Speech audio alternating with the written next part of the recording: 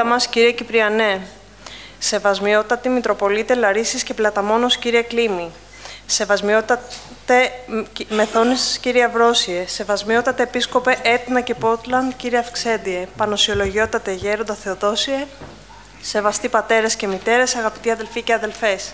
Σας καλωσορίζουμε στην απόψινή μας σύναξη εδώ στη φιλόξενη αίθουσα του Δημαρχείου Φιλής Νικόλαος Λιάκος. Με τη σημερινή ομιλία μας ανοίγει ο νέος κύκλος συνάξεων της Μητροπόλεως μας για την περίοδο 2024-2025. Ο κύκλος αυτός περιλαμβάνει δύο συνάξεις συμπεριλαμβανομένες της απόψινής, οι οποίες θα ολοκληρώσουν το αφιέρωμά μας στο ημερολογιακό ζήτημα λόγω της επαιτίου των 100 ετών από την ημερολογιακή καινοτομία. Η νέα περίοδος επίσης θα περιλαμβάνει δύο συνάξεις γονέων και έξι συνάξεις με ιστορικά θέματα. Οι ημερομηνίες πραγματοποίησής τους αλλά και οι βιντεοσκοπημένες συνάξεις αναρτώνται στην ιστοσελίδα της Μητροπόλεω μας. Να υπενθυμίσουμε πως τον Μάιο και τον Ιούνιο του τρέχοντος έτους, ο Σεβασμιότατος Μητροπολίτης μας, κ. Κυπριανός, έκανε δύο εισηγήσεις για το ημερολογιακό ζήτημα με τίτλους 1924-2024, ημερολογιακή μεταρρύθμισης και οικουμενισμός και το Αποστολοπαράδοτο Ορθόδοξο Πασχάλιο ως αναλύωτος και αιώνιος εκκλησιαστική παράδοσης. Με τη χάρη του Θεού θα παρακολουθήσουμε απόψε την τρίτη εισήγηση στο θέμα της ημερολογιακής μεταρρύθμισης και έχουμε την τιμή και τη χαρά εισηγητής μας να είναι ο Σεβασμιότατος Μητροπολίτης Λαρίσης και Πλαταμόνος κύριος Κλήμης, τον οποίο ευχαριστούμε ιδιαίτερος που δέχτηκε την πρόσκλησή μας παρά το βεβαρημένο πρόγραμμά του. Ο τίτλος της εισηγήσεώς του είναι «Το χρονικό μιας εκκλησιαστικής τραγωδίας και τα θλιβερά αποτελέσματα ενός αιώνος από την ημερολογιακή καινοτομία 1924-2024». Ο Σεβασμιότατος δηλαδή δεν θα ξεδιπλώσει μόνο ενώπιόν μας την αλυσίδα των γεγονότων, αλλά θα αναλύσει τις επιπτώσεις των συνεχομένων εκπτώσεων σε δογματικά και εκκλησιολογικά θέματα των εξορθοδόξων οικουμενιστών. Η εισήγησής του, μάθαμε, είναι μια περίληψη μιας ευρύτερης εργασίας, η οποία θα εκδοθεί προσεχώς και την οποία ήταν καλό να μελετήσουμε όλοι για να εμβαθύνουμε στην εκκλησιολογική μας ταυτότητα. Σεβασμιότατε, έχετε το λόγο. Ευχαριστώ. Σεβασμιότατε επιμενάρχα της Μητροπόλεως Οροπού και Φιλής, κύριε Κυπριανέ, σεβασμιότατη Άγια Αδελφή, Μεθόνης κύριε Αμβρώση, Έτνα και Πόρτλαν, κύριε Αυξέντη, αγαπητοί πατέρες, σεβαστές μητέρες, αγαπητοί εν Χριστώ αδελφοί.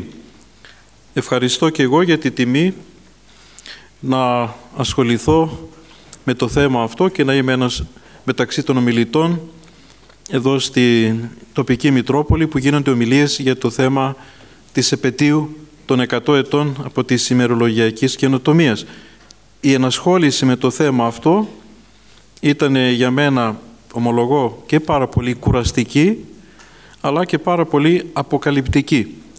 Ουσιαστικά αποκαλύφθηκε ενώπιόν μου ένα τόσο μεγάλο υλικό, ασχολούμαι εδώ και μήνες με αυτό, σε μικρά κενά που βρίσκω βέβαια ελεύθερο χρόνο, ώστε να ετοιμαστεί ουσιαστικά ένα βιβλίο για τα 100 χρόνια από τη ημερολογιακή καινοτομία και από αυτό θα έχει 10 κεφάλαια. Παρουσιάζω ουσιαστικά σήμερα μία περίληψη προσπάθησα να τα συμπτύξω πάρα πολύ.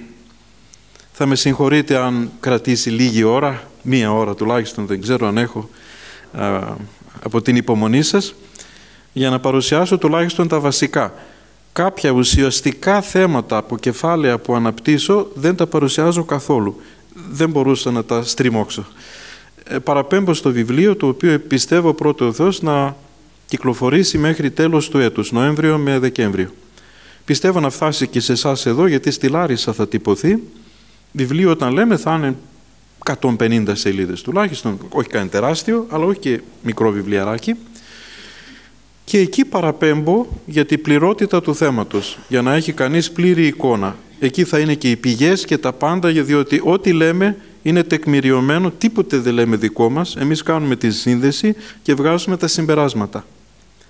Αλλά στην εποχή μας που είναι εποχή μεγάλης και εκπτώσεως και γενικά συγχύσεως ε, δεν απέμειναν και άνθρωποι που να κάνουν τη σωστό, το σωστό συνδυασμό, την σωστή παρουσίαση για να βγουν και τα σωστά συμπεράσματα. Γι' αυτό είμαστε σε τόσο τραγικές ημέρες. Αλλά εμείς πάντοτε πρέπει να διεπόμαστε από πνεύμα ελπίδος. Ότι δεν μας εγκαταλείπει ο Θεός όσοι λίγοι κι αν απομείνουν που να διακρατούν την Αγία Παράδοση των Ορθοδόξων η οποία ουσιαστικά καταπατείται σήμερα, καταπατείται εντελώς και όπου να είναι σε λίγο θα καταπατηθεί ακόμη περισσότερο. Άρα θέλω να πω αυτά που λέμε δεν είναι θεωρητικά θέματα, έχουν άμεση σχέση και επίπτωση με την πνευματική μας ζωή και πορεία, θα έλεγα με, με τη ελπίδα σωτηρίας μας. Γι' αυτό πρέπει να δώσουμε την απαιτούμενη προσοχή, παρακαλώ πολύ. Ξεκινώ με το πρώτο κεφάλαιο, ερωτολογική ενότητα στην Εκκλησία. Στην Αγία Ορθόδοξη Εκκλησία μας έχουμε ως καθοδηγητική αρχή την χάρη του Παναγίου Πνεύματος. Οι πραγματικοί διδάσκαλοι της Εκκλησίας ομιλούν αυθεντικώς, όχι λόγω της κοσμικής σοφίας τους, που είχαν και αυτήν, αλλά λόγω της αποκαλυπτικής δυνάμεως του Αγίου Πνεύματος, το οποίο αποτελούν δοχεία καθαρά και διαυγή. Πλήρης Θεούς σοφίας και γνώσεως οι Άγιοι Απόστολοι, λέει ένα τροπάριο στον όρθρο κάπου σε μια γιορτή, εάν και απλή στον λόγο διέλυσαν τα σοφίσματα των κατακόσμων σοφών, τις μεγαλοστομίες των ρητόρων και τας ψήφους των αστρονόμων. Έχει σημασία αυτό. Έτσι μεγαλούργησαν οι Άγιοι του Χριστού Απόστολοι και οι μετά από αυτούς άξιοι διάδοχοι τους Άγιοι Πατέρες και διδάσκαλοι της Εκκλησίας. Αυτοί μας παρέδωσαν το μυστήριο της πίστεως, όχι μόνο ως δόγμα, ως θεωρητική εκκλησιαστική ορθότητα, αλλά και ως τρόπο εκφράσεώς τους την επιτέλεση της θείας Λατρείας του αληθινού Θεού μας. Μάλιστα, η ομόνια και η ειρήνη στην λειτουργική πράξη αισθητοποιεί ακριβώς την βίωση της κοινής πίστεως με τον κοινό εορτασμό κατά τον αυτό χρόνο και την αυτή ημέρα του εκκλησιαστικού κύκλου. Αυτά που λέμε στην αρχή είναι λίγο θεωρητικά, αλλά θα γίνουν πιο σαφή παρακάτω. Από τον πλούτο της Ιεράς Παραδόσεως καθορίστηκε η Θεία Λατρεία της Εκκλησίας και ο ετήσιος εκκλησιαστικός κύκλος. Και αυτός προσαρμόστηκε στη βάση του καθιερωμένου στη Ρωμαϊκή Αυτοκρατορία Ιουλιανού λεγόμενου ημερολογίου. Σημειωτέων ότι το ημερολόγιο αυτό δεν είναι ούτε το τελειότερο, ούτε το ακριβέστερο και εμείς δεν το εξειδανικεύουμε, ούτε φυσικά του προσδίνουμε σωτηριολογική αξία, όπως ίσως θα μας κατηγορούσαν κάποιοι. Δεν είμαστε ημερολάτρες. Απλώς αυτό επικράτησε ολοκληρωτικά τότε και σε αυτό προσαρμόστηκε όπως είπαμε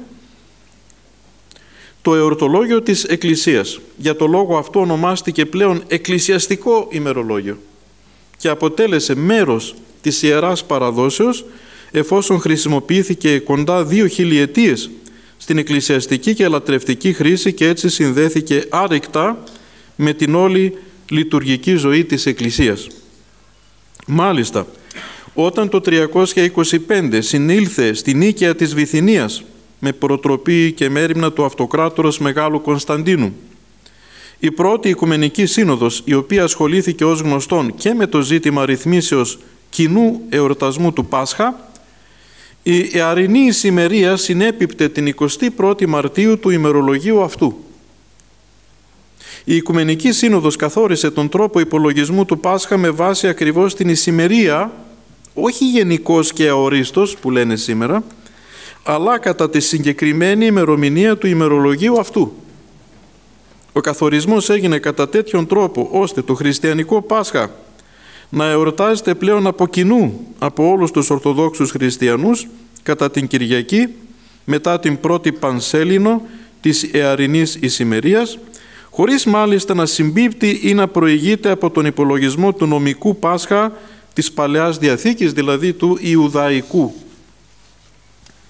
Οι ιεροί κανόνες 7 των Αγίων Αποστόλων και πρώτος της Αντιοχίας είναι ιδιαίτερα αυστηροί στην περίπτωση παραβιάσεως αυτής της αρχής. Το μέλημα της πρώτης Οικουμενικής Συνόδου ήταν να συνεορτάζουν από κοινού το Άγιο Πάσχα και κατά συνέπεια όλες τις εορτές, κινητές και ακίνητες. Τα μέλη της Ορθοδόξου Εκκλησίας και όχι οι εκτός αυτής. Οι Άγιοι Πατέρες φρόντισαν ώστε να μην συγχαίει το εορτασμό των Ορθοδόξων μετά των Κακοδόξων. Διότι όπου δεν υπάρχει ταυτόσιμη πίστη, δεν έχει κανένα νόημα ο ταυτόσιμος εορτασμός. Στην αμέσως επόμενη περίοδο, μέχρι τον 6ο αιώνα και με τη συμβολή της Εκκλησίας της Αλεξανδρίας, καταρτίστηκε ο Πασχάλιος κανόνας της Ορθοδόξου Εκκλησίας, το αιώνιο Πασχαλιοδρόμιο αυτής, το οποίο πλέον αποτελεί αλανθάστος την καθοδηγητική αρχή για την επίτευξη του ορισμού της πρώτης Οικουμενικής Συνόδου. Κάποιες αποκλίσεις του υπολογισμού στη Ρώμη, στην Αγγλία ή σε άλλες περιοχές τακτοποιήθηκαν με την πάροδο του χρόνου και ο κοινός εορτασμός επικράτησε παντού καθολικός. Εν τούτης, ήταν και είναι γνωστό ότι λόγω σφάλματος του Ιουλιανού ημερολογίου, κάθε ημερολόγιο έχει σφάλμα, κάθε 128 χρόνια χάνει μία ημέρα με αποτέλεσμα η θεωρούμενη 21η Μαρτίου ως εαρινή ησημερία να κατέρχεται σταδιακά φυσικός. Όμως αυτή η παρατηρούμενη ατέλεια δεν επηρέασε την Εκκλησία εφόσον δεν την απασχολεί το θέμα της μαθηματικής, αστρονομικής, χρονικής ακριβίας ως προς το επίτευγμά της που ήταν ο κοινός εορτασμός του πληρώματός της. Αυτό το κατάφερε. Μόνον αν προκύψει κάποια μεγάλη ανάγκη η οποία να απειλεί κέρια ή να εμποδίζει τη σωτηρία των μελών του ποιμνίου της, μόνο τότε υποθετικά η Εκκλησία κατόπιν βεβαίως κοινής πανορθοδόξου συμφωνίας θα μπορούσε να προβεί σε πιθανές αναγκαίες ρυθμίσεις επί του θέματος. Τον 14ο αιώνα, χίλια χρόνια μετά την πρώτη οικουμενική, την ατέλεια του Ιουλιανού ημερολογίου επεσήμανε στην Ανατολή ο αστρονόμος, ιστορικός και φιλόσοφος Νικηφόρος Γρηγοράς, ο οποίος προσπάθησε να πείσει τον αυτοκράτορα Ανδρώνικο δεύτερο παλαιολόγο να προβεί σε διόρθωση του ημερολογίου. Όμως πολύ ορθώς ο αυτοκράτορας απέρριψε την πρόταση για αποφυγή συγχύσεως στο λαό και προκλήσεως διχασμού στο πλήρωμα της Εκκλησίας. Σημειωτέων ότι ο Νικηφόρος Γρηγοράς ήταν αντίπαλος του Αγίου Γρηγορίου του Παλαμά, γι' αυτό και καταδικάστηκε και αναθεματίστηκε από τη λεγόμενη Ενάτη Οικουμενική Σύνοδο ε, του 1351 στην Κωνσταντινούπολη. Αυτός πρότεινε αλλαγή. Αυτός που αναθεματίστηκε.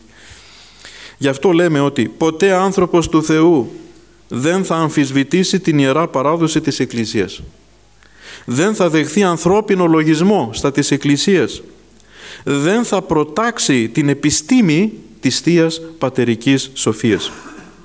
Αν ετίθε το ζήτημα αστρονομικό, επιστημονικής ακριβίας, ώστε να είμαστε συνεπείς και υπάκουοι στον ορισμό της πρώτης Οικουμενικής Συνόδου, σχετικά με τον υπολογισμό της εαρινής ησημερίας, αυτό θα ελάνθανε της προσοχής της Εκκλησίας; Και κανείς δεν θα το διέκρινε επί μία ολόκληρη χιλιετία; Είναι δυνατόν να δεχθούμε τέτοιο πράγμα; Όμως δεν επρόκειτο για άγνοια λάθος.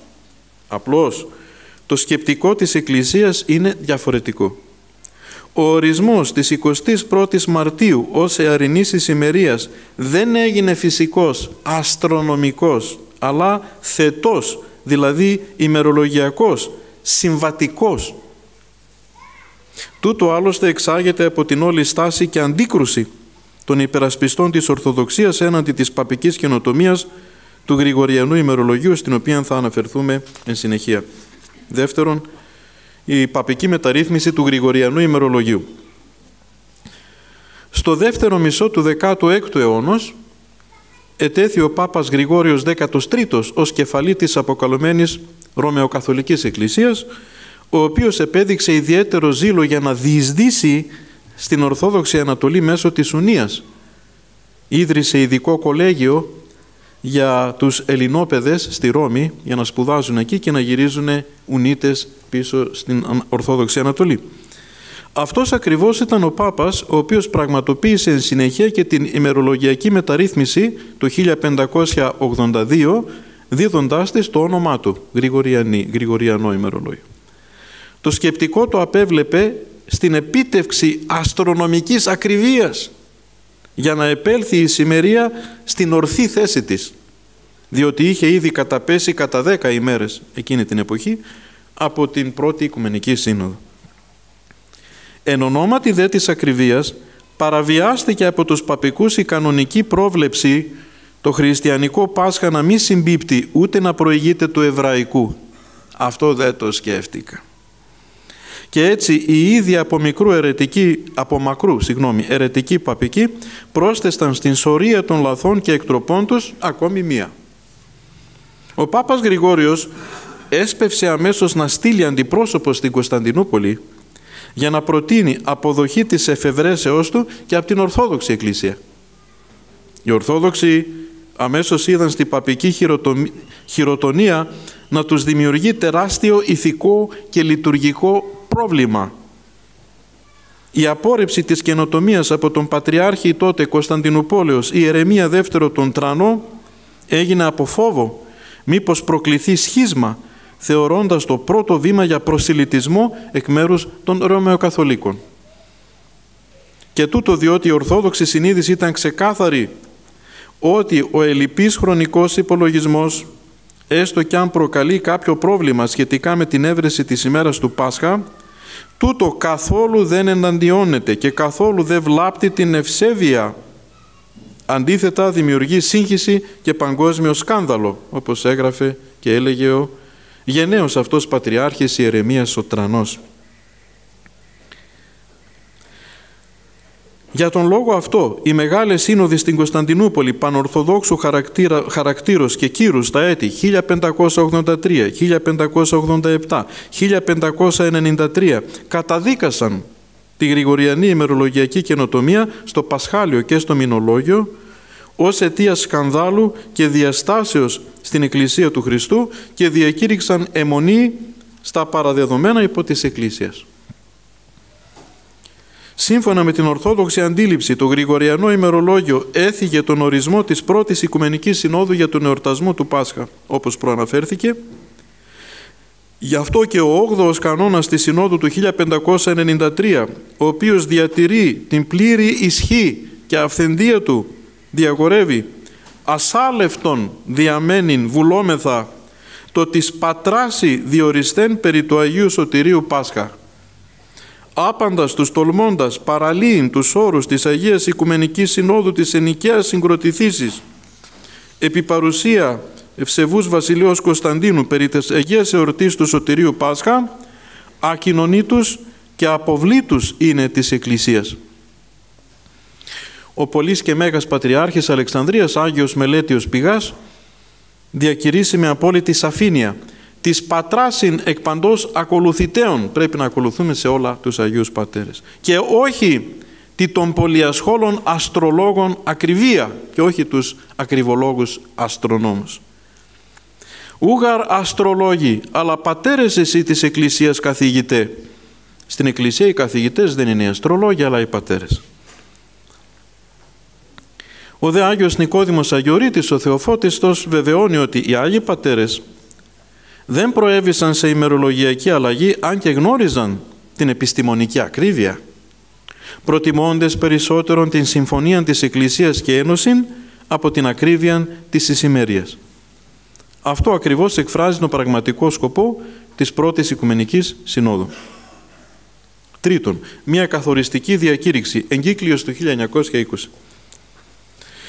Με το γύρισμα του 20ου αιώνος έχουμε πραγματικά μια συγκεχημένη κατάσταση εκκλησιαστικός και πολιτικός.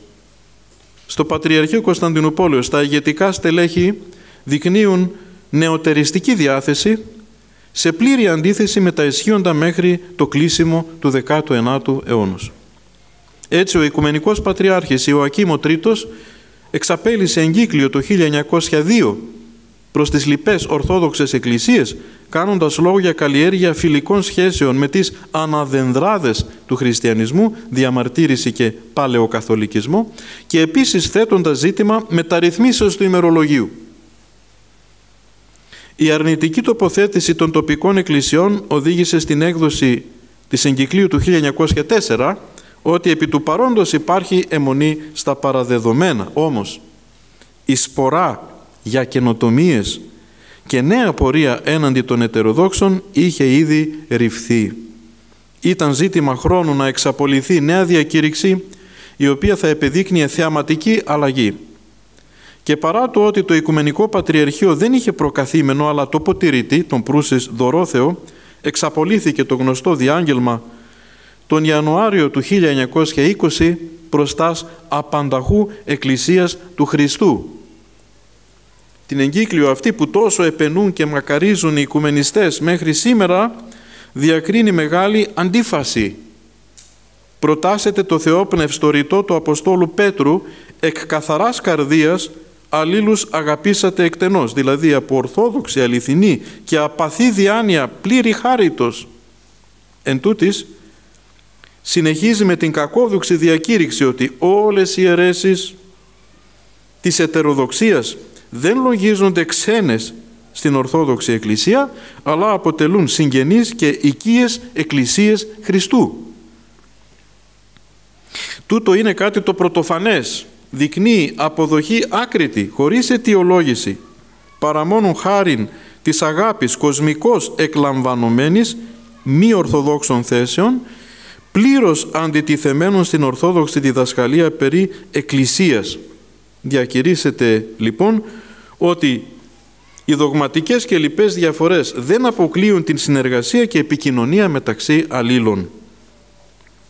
Μάλιστα, προς επίτευξη του οικουμενιστικού σκοπού προτείνεται μία σειρά μέτρων με πρώτο ένα κοινό ημερολόγιο για συνεορτασμό, δηλαδή ως μέτρο ενωτικής διαδικασίας προτείνεται η παραδοχή ενιαίου ημερολογίου προς ταυτόχρονων εορτασμών των μεγάλων χριστιανικών εορτών υποποσών των εκκλησιών. Αν και οι ιεροί κανόνες προβλέπουν ακριβώς το αντίθετο. Ουδή δεν πρέπει συνεορτάζουν, να συνεορτάζουν οι Ορθόδοξοι με τους κακοδόξους. 37ος κανόν της Λαοδικίας. Ακόμη μέσω της εγκυκλίου προτείνεται σύμπηξη κοινωνίας εκκλησιών για την ωφέλεια του όλου της εκκλησίας σώματος κατά το πρότυπο της τότε διακρατικής κοινωνίας των εθνών. Οι οικουμενιστές της σήμερον καυχόνται προς το, πως το Οικουμενικό Πατριαρχείο με την πρόταση για κοινωνία εκκλησιών, μας λέγει τώρα ο Μεσσηνίας ο Χρυσόστομος, κατενόησε ότι τα τεράστια κοινωνικά κυρίως προβλήματα δεν θα μπορούσαν να αντιμετωπιστούν μόνο με μία από κοινού συνεργασία και δράση των κατατόπους Ορθοδόξων Εκκλησιών, αλλά απαιτούσαν συνεργασίες. Γι' αυτό και έτεινε το Πατριαρχείο χείρα συμφιλίωσης και συνεργασίας προς όλες τις λοιπές χριστιανικές εκκλησίες και ομολογίες, διότι μόνο με μία συνεργασία σε παγκόσμιο επίπεδο θα μπορούσαν οι εκκλησίες να αντισταθούν στους ισχυρούς της εποχής. Ενώπιον της πρωτοφανούς εκτροπής μέσω αυτής της εγκυκλίου θα αναμέναμε την αντίδραση των λοιπόν προκαθημένων. Αντί τούτου, διαβάζουμε για την θετική αποδοχή της εγκυκλίου δυστυχώς από τους πατριάρχες της εποχής εκείνης Ιεροσολύμου Δαμιανό, Αντιοχίας Γρηγόριο, Βελιγραδίου Δημήτριο και Βουκουρεστίου Μύρονα. Υπενθυμίζουμε μόνον την σημαντική παρατήρηση του συγχρόνου πατερικού αναστήματος δεινού πολεμίου της οικομενιστικής κακοδοξίας ομολογητού γέροντος Ιουστίνου Πόποβιτς ο οποίος γράφει πρεπόντος «Στην Εκκλησία, για την οποία ο Θεάνθρωπος είναι το παν και τα πάντα, τίποτε δεν επιτρέπεται να ρυθμίζεται κατά άνθρωπον, κατά την παράδοση των ανθρώπων, κατά τα στοιχεία του κόσμου και ου κατά Χριστόν, όσον αφορά στα της πίστεως και της Θείας Λατρείας και εν γέννηστα του βίου αυτής. Τα προβλήματα επιλύονται μόνον με τον Χριστό και κατά Χριστόν, σε πιστότητα προς το φρόνημα και την παράδοση της Εκκλησίας. Εδώ παρεμβάλλεται ένα κεφάλαιο πολιτικό και εκκλησιαστικό πλαίσιο για να καταλάβει κανείς πώς προβλήθηκαν τα πρόσωπα που θα μιλήσουμε, αλλά δεν μπορώ να θίξω καθόλου αυτό το θέμα. Παραπέμπω στο πάρα πολύ ενδιαφέρον και άκρος ας πούμε αποκαλυπτικό βιβλίο που θα έχει όλα αυτά. Πέμπτο, το Πανορθόδοξο Συνέδριο του 1923 στην Κωνσταντινούπολη.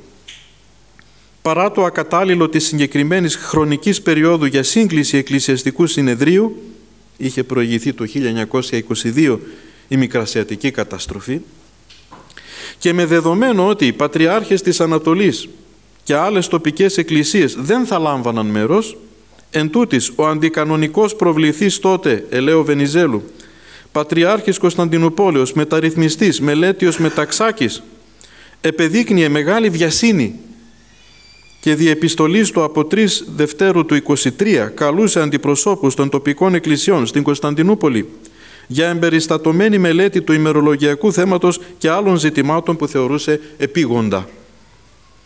Ο βασικός σκοπός ήταν η εξέταση των θεμάτων εντός νεοτεριστικών πλαισίων προς εξυπηρέτηση της πανχριστιανικής ενότητος.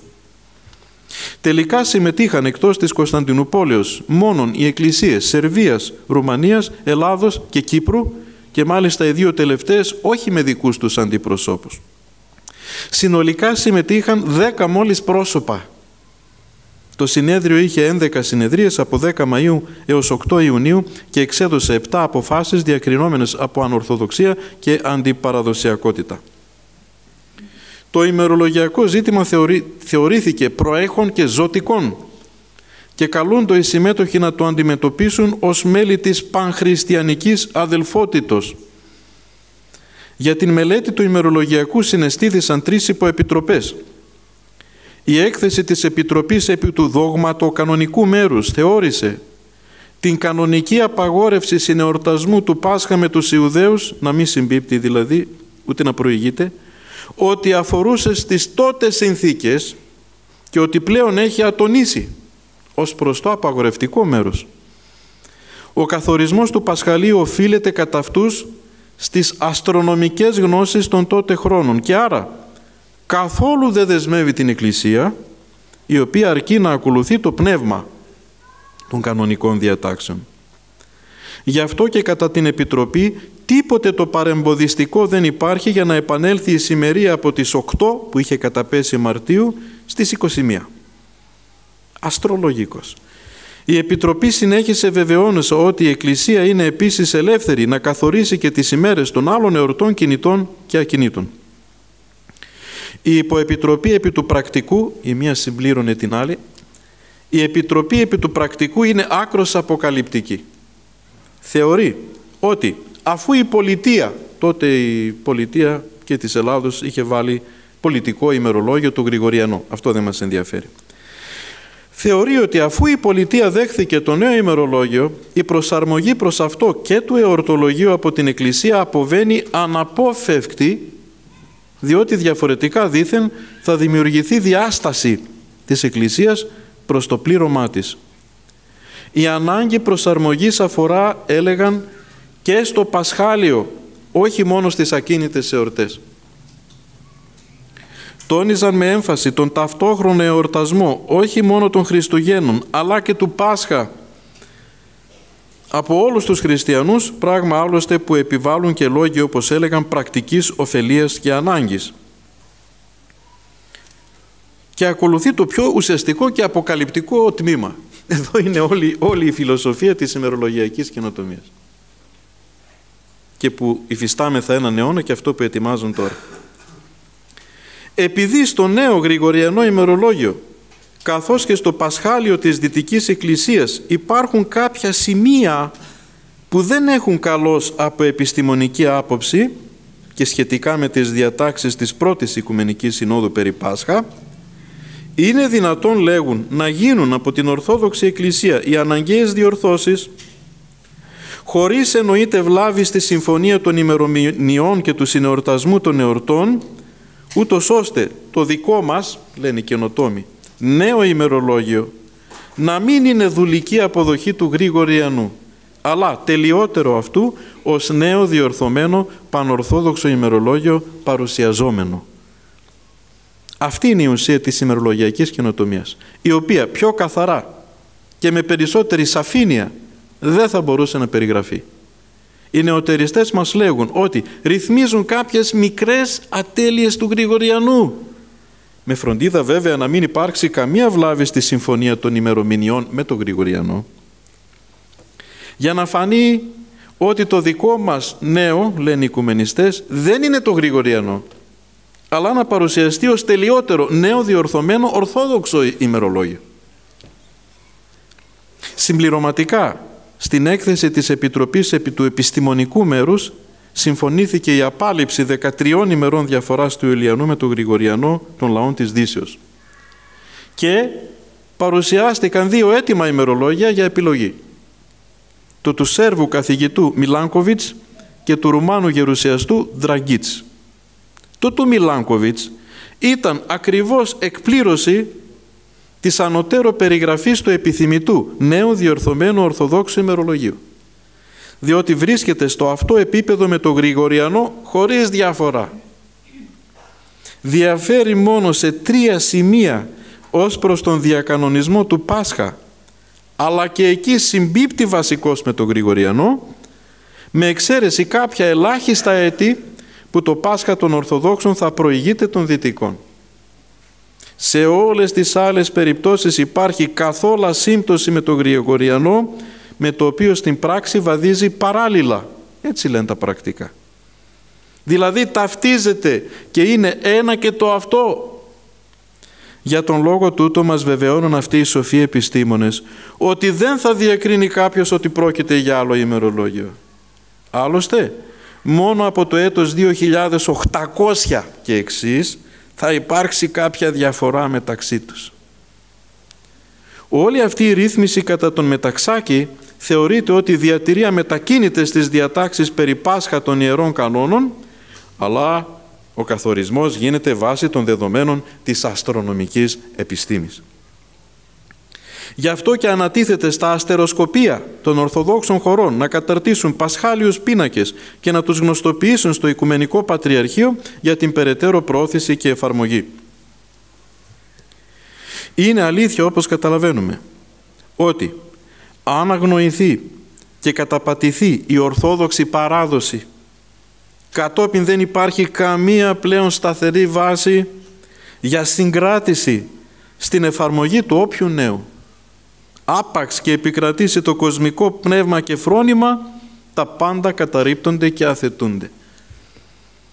Ως προς το εν λόγω συνέδριο συνεχίζουμε ότι ο διερχόμενος από την Κωνσταντινούπολη τις ημέρες εκείνες Αγγλικανός επίσκοπος Τέος Οξφόρδης Γκορ παρεκάθισε πλησίον του Μεταξάκη στη συνεδρίαση της 23 Μαΐου 23 και εξέφρασε τη μεγάλη πνευματική ευχαρίστηση αν υπάρξει συνορτασμός των μεγάλων χριστιανικών εορτών Χριστουγέννων, Αναστάσεως και Πεντηκοστής και ότι τούτο αποτελεί βήμα προς την Ένωση. Το βέβαιο είναι ότι το μεταξακικό συνέδριο αποφάσισε μεταρρύθμιση και του Πασχαλίου βάσει του ημερολογίου του Μιλάνκοβιτς που ταυτίζεται με το Γρηγοριανό εκτός ελάχιστης διαφοράς. Αυτό είναι που ονόμασα νέο διορθωμένο Ιουλιανό ημερολόγιο που μέχρι σήμερα μας έχουν τρελάνει να μας το πετούνε από παντού προς εξαπάτηση των μη θεμελιωμένων στην Ορθόδοξη παράδοση και όπως φαίνεται οι άνθρωποι αυτοί τα κατάφεραν πολύ καλά στο σκοπό τους σήμερα και η παραδοσιακή του νέου, όλοι, όλοι είναι εξαπατημένοι και μιλούν για διορθωμένο Ιουλιανό ημερολόγιο, για το νέο. Ότι δεν έχει αυτό κανένα πρόβλημα. Όλοι είναι εξαπατημένοι. Φοβερό. Το συνέδριο έλαβε την πρόνοια συν της άλλης να προβλέψει ότι αν κάποιες τοπικές εκκλησίες δεν υιοθετήσουν την ημερολογιακή μεταρρύθμιση, τούτο να μην αποτελέσει αιτία διακοπής αδελφικών σχέσεων. Διότι ήταν υπερβέβαιο και αναμενόμενο ότι δεν θα υπήρχε αποδοχή από όλους, ούτε ταυτόχρονη εφαρμογή και άρα θα επερχόταν η ερωτολογική διαίρεση των Ορθοδόξων. Ο Άγιος Γέροντας Ιουστίνος Πόποβιτς, αναφερόμενος μεταγενέστερα στον μελέτιο Μεταξάκη, τον αποκαλεί γνωστό υψηλόφρονα, μοντερνιστή και μεταρρυθμιστή, γι' αυτό και σχισματοποιώ στην Ορθόδοξη Εκκλησία. Είναι τόσο εύγλωτος και περιεκτικός ο χαρακτηρισμός ώστε να τα λέγει όλα χωρίς ανάγκη ασδήποτε περαιτέρω εξηγήσεως και συμπληρώσεως. Να θυμίσουμε μόνο ότι ο μοιραίος αυτός άνθρωπος ήταν διάσημος ελευθεροτέκτονας, μασόνος, από το 1909 ή 1910 που μοιήθηκε και άρα ο παδός όχι Χριστού αλλά αντιχρίστου. Είναι χαρακτηρισμό ότι ενώ διαρκούσαν οι εργασίες αυτού του συνεδρίου, στις πρώτη, την 1η Ιουνίου του 1923 εισόρμησε στο Πατριαρχείο στο Φανάρι ομάδα δυσαρεστημένων λαϊκών κατά του Μεταξάκη, ήταν αντιπαθής τύπος, και έγιναν σοβαρά επεισόδια. Ο δε Μεταξάκης με τα βίας γλίτωσε την κακοποίηση χάρη στη δύναμη των χεριών του. Είχε πιαστεί από το κυγκλίδωμα εσωτερικής κλίμακος, τα κάγκελα μιας σκάλας, ώστε να μην μπορούν να τον αποσπάσουν με τίποτε από εκεί και διασώθηκε χάρη στην επέμβαση ενός άλλου αρχιερέως του Δυραχείου Ιακώβου ε, που ήταν συνάδελφοι και στη Στοά. Η τάξη επευλήθηκε αργότερα από τις αστυνομικές αρχές. Ο Μεταξάκης τότε, μετά το συνέδριο αυτό το καταστροφικό, κατενόησε ότι κινδύνευε να συλληφθεί από το κεμαλικό καθεστώς ως άκρος βενιζελικός και αποχώρησε οριστικά από την Κωνσταντινούπολη στις 10 Ιουλίου 1923 μέσω δε Αγίου Όρους κατέληξε στη Θεσσαλονίκη. Δεν ήθελε να παραιτηθεί με τίποτε. ήθελε να μεταφερθεί το Πατριαρχείο εκεί που είναι αυτός. Τους λέω, εγώ είμαι πατριάρχης, αφού έφυγα από την Τουρκία, το Πατριαρχείο θα έρθει μαζί μου. Όχι εγώ θα ξαναπάω. Κάτι φοβερό. Κινητοποιήθηκε ο Βενιζέλος, ο ευεργέτης του που τον έβαλε με τηλεγράφημα στο Πατριαρχείο. Όταν τον διόρισε ο Βενιζέλος το δέχτηκε με μεγάλη χαρά. Όταν ο Βενιζέλος τον φώναζε και έλεγε «Παρετήσου τώρα, τελείωσε η αποστολή σου». Ε, δεν παρετούμε με τίποτε. Το πρώτο τηλεγράφημα το δέχτηκε. Συνάδελφος με το Βενιζέλο επίσης στη ΣΤΟΑ. Έτσι εξηγούνται όλα, ξέρετε, όλα εξηγούνται. Αλλά λίγο πρέπει να δούμε τα ιστορικά. Δεν μπορώ να σας τα αναπτύξω, παραπέμπω στο βιβλίο. Επιτέλους, επειδή δεν παρετήτω, έφτασε Σεπτέμβριος, έστειλαν ο Βενιζέλος στη Θεσσαλονίκη τον φίλο του, τον Χρυσόστομο Παπαδόπουλο, που ήδη ήταν αρχιεπίσκοπος, να τον πείσει να υποβάλει παρέτηση επιτέλους. Και μόνο έτσι έγινε. Μόνο όταν ανέβηκε ο Χρυσόστομος Παπαδόπουλος, προσωπικός του φίλος καρδιακός και ποιος ξέρει τι άλλο, μόνο τότε παρετήθηκε. Τα λέω αυτά γιατί δεν μπορώ να τα αναπτύξω. Τότε όμως ήταν που κατέφτασε στην Κωνσταντινούπολη, Σεπτέμβριο του 23, ο διαβόητος Παπαευθύμ της λεγόμενης τουρκορθόδοξης εκκλησίας, με αξίωση να καταλάβει το Πατριαρχείο.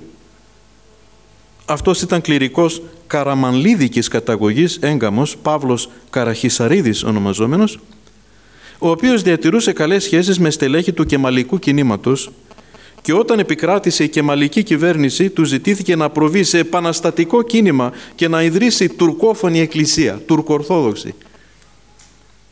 Το Σεπτέμβριο του 22 ανακοινώθηκε η ίδρυση του εντελώς αντικανονικού βέβαια ανεξαρτήτου τουρκορθοδόξου πατριαρχείου. Ο Παπαευθύμ αυτός υπηρέτησε αυτό το μόρφωμα έως του θανάτου του το 1968 και το συνέχισαν τα παιδιά του. Περί τούτου θα πούμε κάτι παρακάτω. Έκτον, η αλλαγή του ημερολογίου σε Ελλάδα και Κωνσταντινούπολη. Όπως προαναφέραμε, υπήρχε έντονη πολιτική πίεση από πλευράς επαναστατικής κυβερνήσεως στην Ελλάδα, πλαστήρα γονατά, για αποδοχή νέου ημερολογίου και από την Εκκλησία, διότι η πολιτεία είχε ήδη προσανατολιστεί σε άμεση εφαρμογή του πολιτικός. Για το ζήτημα αυτό είχε και άλλοτε συσταθεί επιτροπή για να εκφέρει γνωμοδότηση και το αυτό συνέβη το έτος 1922. Η Επιτροπή υπέβαλε έκθεση στις 16 Ιανουαρίου 23 μέλος της οποίας ήταν και ο Αρχιμανδρίτης τότε ακόμη Χρυσόστομος Παπαδόπουλος, δια της οποίας δεχόταν ότι δεν δύναται μία επιμέρους εκκλησία να δεχθεί χωριστά, μονομερός, νέο ημερολόγιο, χωρίς να καταστεί σχισματική έναντι των άλλων. Και η μεν ελληνική κυβέρνηση έσπευσε το αμέσως επόμενο διάστημα να αποδεχθεί την εισαγωγή του Γρηγοριανού ημερολογίου, πράγμα αδιάφορο εκκλησιαστικός. Δεν μας νοιάζει τι κάνει η πολιτεία. Η δε εκκλησία παρέμεινε ως είχε επί του παρόντος. Αυτό διελάμβανε και το εκδοθέν βασιλικό διάταγμα στις 18 Ιανουαρίου 23, το οποίο δεν ανακλήθηκε ποτέ και ισχύει ακόμη θεωρητικά. Του βασιλέως Γεωργίου του Δευτέρου ότι η 16η Φεβρουαρίου θα λογιστεί ως 1η Μαρτίου κατά το εφαρμοζόμενο στο εξής πολιτικό ημερολόγιο. Όριζε όμως ότι η Εκκλησία διακρατεί για τις εορτές το λεγόμενο Ιουλιανό ημερολόγιο και ότι η εθνική εορτή της 25 Μαρτίου και όλες, γενικώς, και όλες γενικώς οι εορτάσιμες ημέρες θα συνεχίσουν να διαρρυθμίζονται με το εκκλησιαστικό ημερολόγιο.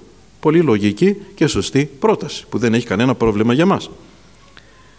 Εν τούτης, οι οπαδοί της καινοτομίας έσπευσαν να υποστηρίξουν ότι ο ερτασμός της εθνικής επαιτίου του έτους εκείνου, 1923, επέφερε δίθεν σύγχυση εξαιτίας του διαχωρισμού της εορτής του Ευαγγελισμού από την εθνική.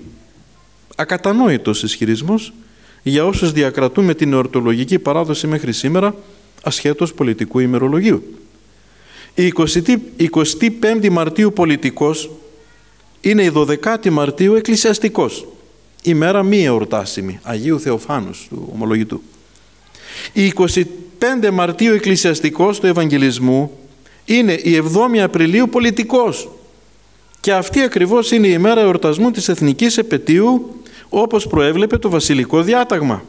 Ποιο είναι το πρόβλημα; Όμως οι καινοτόμοι για να δικαιολογήσουν την επιβολή του νεοτερισμού τους ισχυρίστηκαν ότι δημιουργήθηκε σύγχυση και άρα κατανοήθηκε ότι η μεταβολή έπρεπε να επισπευθεί και εκκλησιαστικός. Όμως ας μην κουραζόμαστε με πεδαριώδη μυθεύματα. Η πολιτεία επιθυμούσε ουσιαστικά τον εξυγχρονισμό της Εκκλησίας. Διότι οι πολιτικοί αντιμετωπίζουν την Εκκλησία ως εξάρτημα του κράτους στην υπηρεσία και στον έλεγχό του. Η πολιτιοκρατία εμπροκειμένου συνέπεσε με την οικουμενιστική νοοτροπία των νεοτεριστών στην Εκκλησία, τους οποίους άλλωστε οι πολιτικοί προέβαλαν και ανέδειξαν ώστε να διεκπαιρεώσουν κάποια διατεταγμένη υπηρεσία. Για τον λόγο αυτό, ο μόλις τότε πολιτικός αναδειχθής Αθηνών Χρυσόστομος Παπαδόπουλος στην πρώτη κιόλας σύνοδο της ιεραρχίας υπό την Προεδρία του τον Απρίλιο του 23 έθεσε άμεσα, άμεσα θέμα ταυτίσεως εκκλησιαστικού ημερολογίου προς το πολιτικό.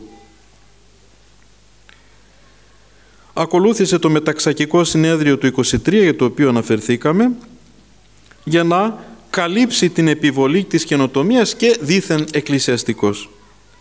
Με τον τρόπο αυτό οι κατόνομα Ορθόδοξοι δικαίωσαν ύστερα από 350 χρόνια την καταδικαστήσα πανορθοδόξος παπική γρηγοριανή καινοτομία.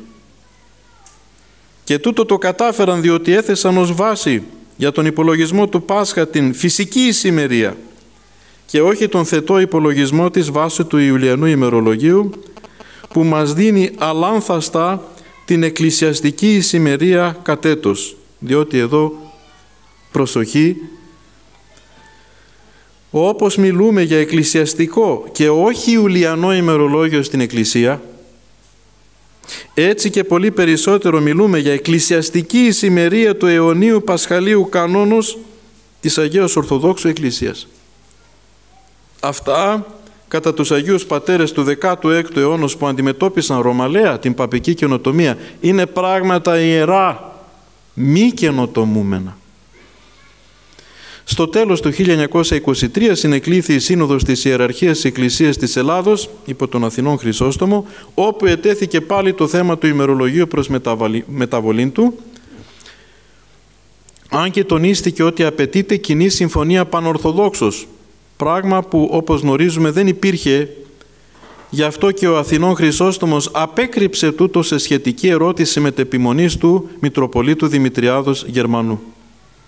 Εδώ όμως είναι ανάγκη να μεταφερθούμε στην Κωνσταντινούπολη, μιας και σε αυτήν απετάνθη η Εκκλησία της Ελλάδος για συμφωνία και επιβεβαίωση επί της καινοτομίας του ημερολογίου, έστω και για τις ακίνητες μόνο εορτές και όχι για το Πάσχα. Μπορώ να συνεχίσω, πάμε καλά.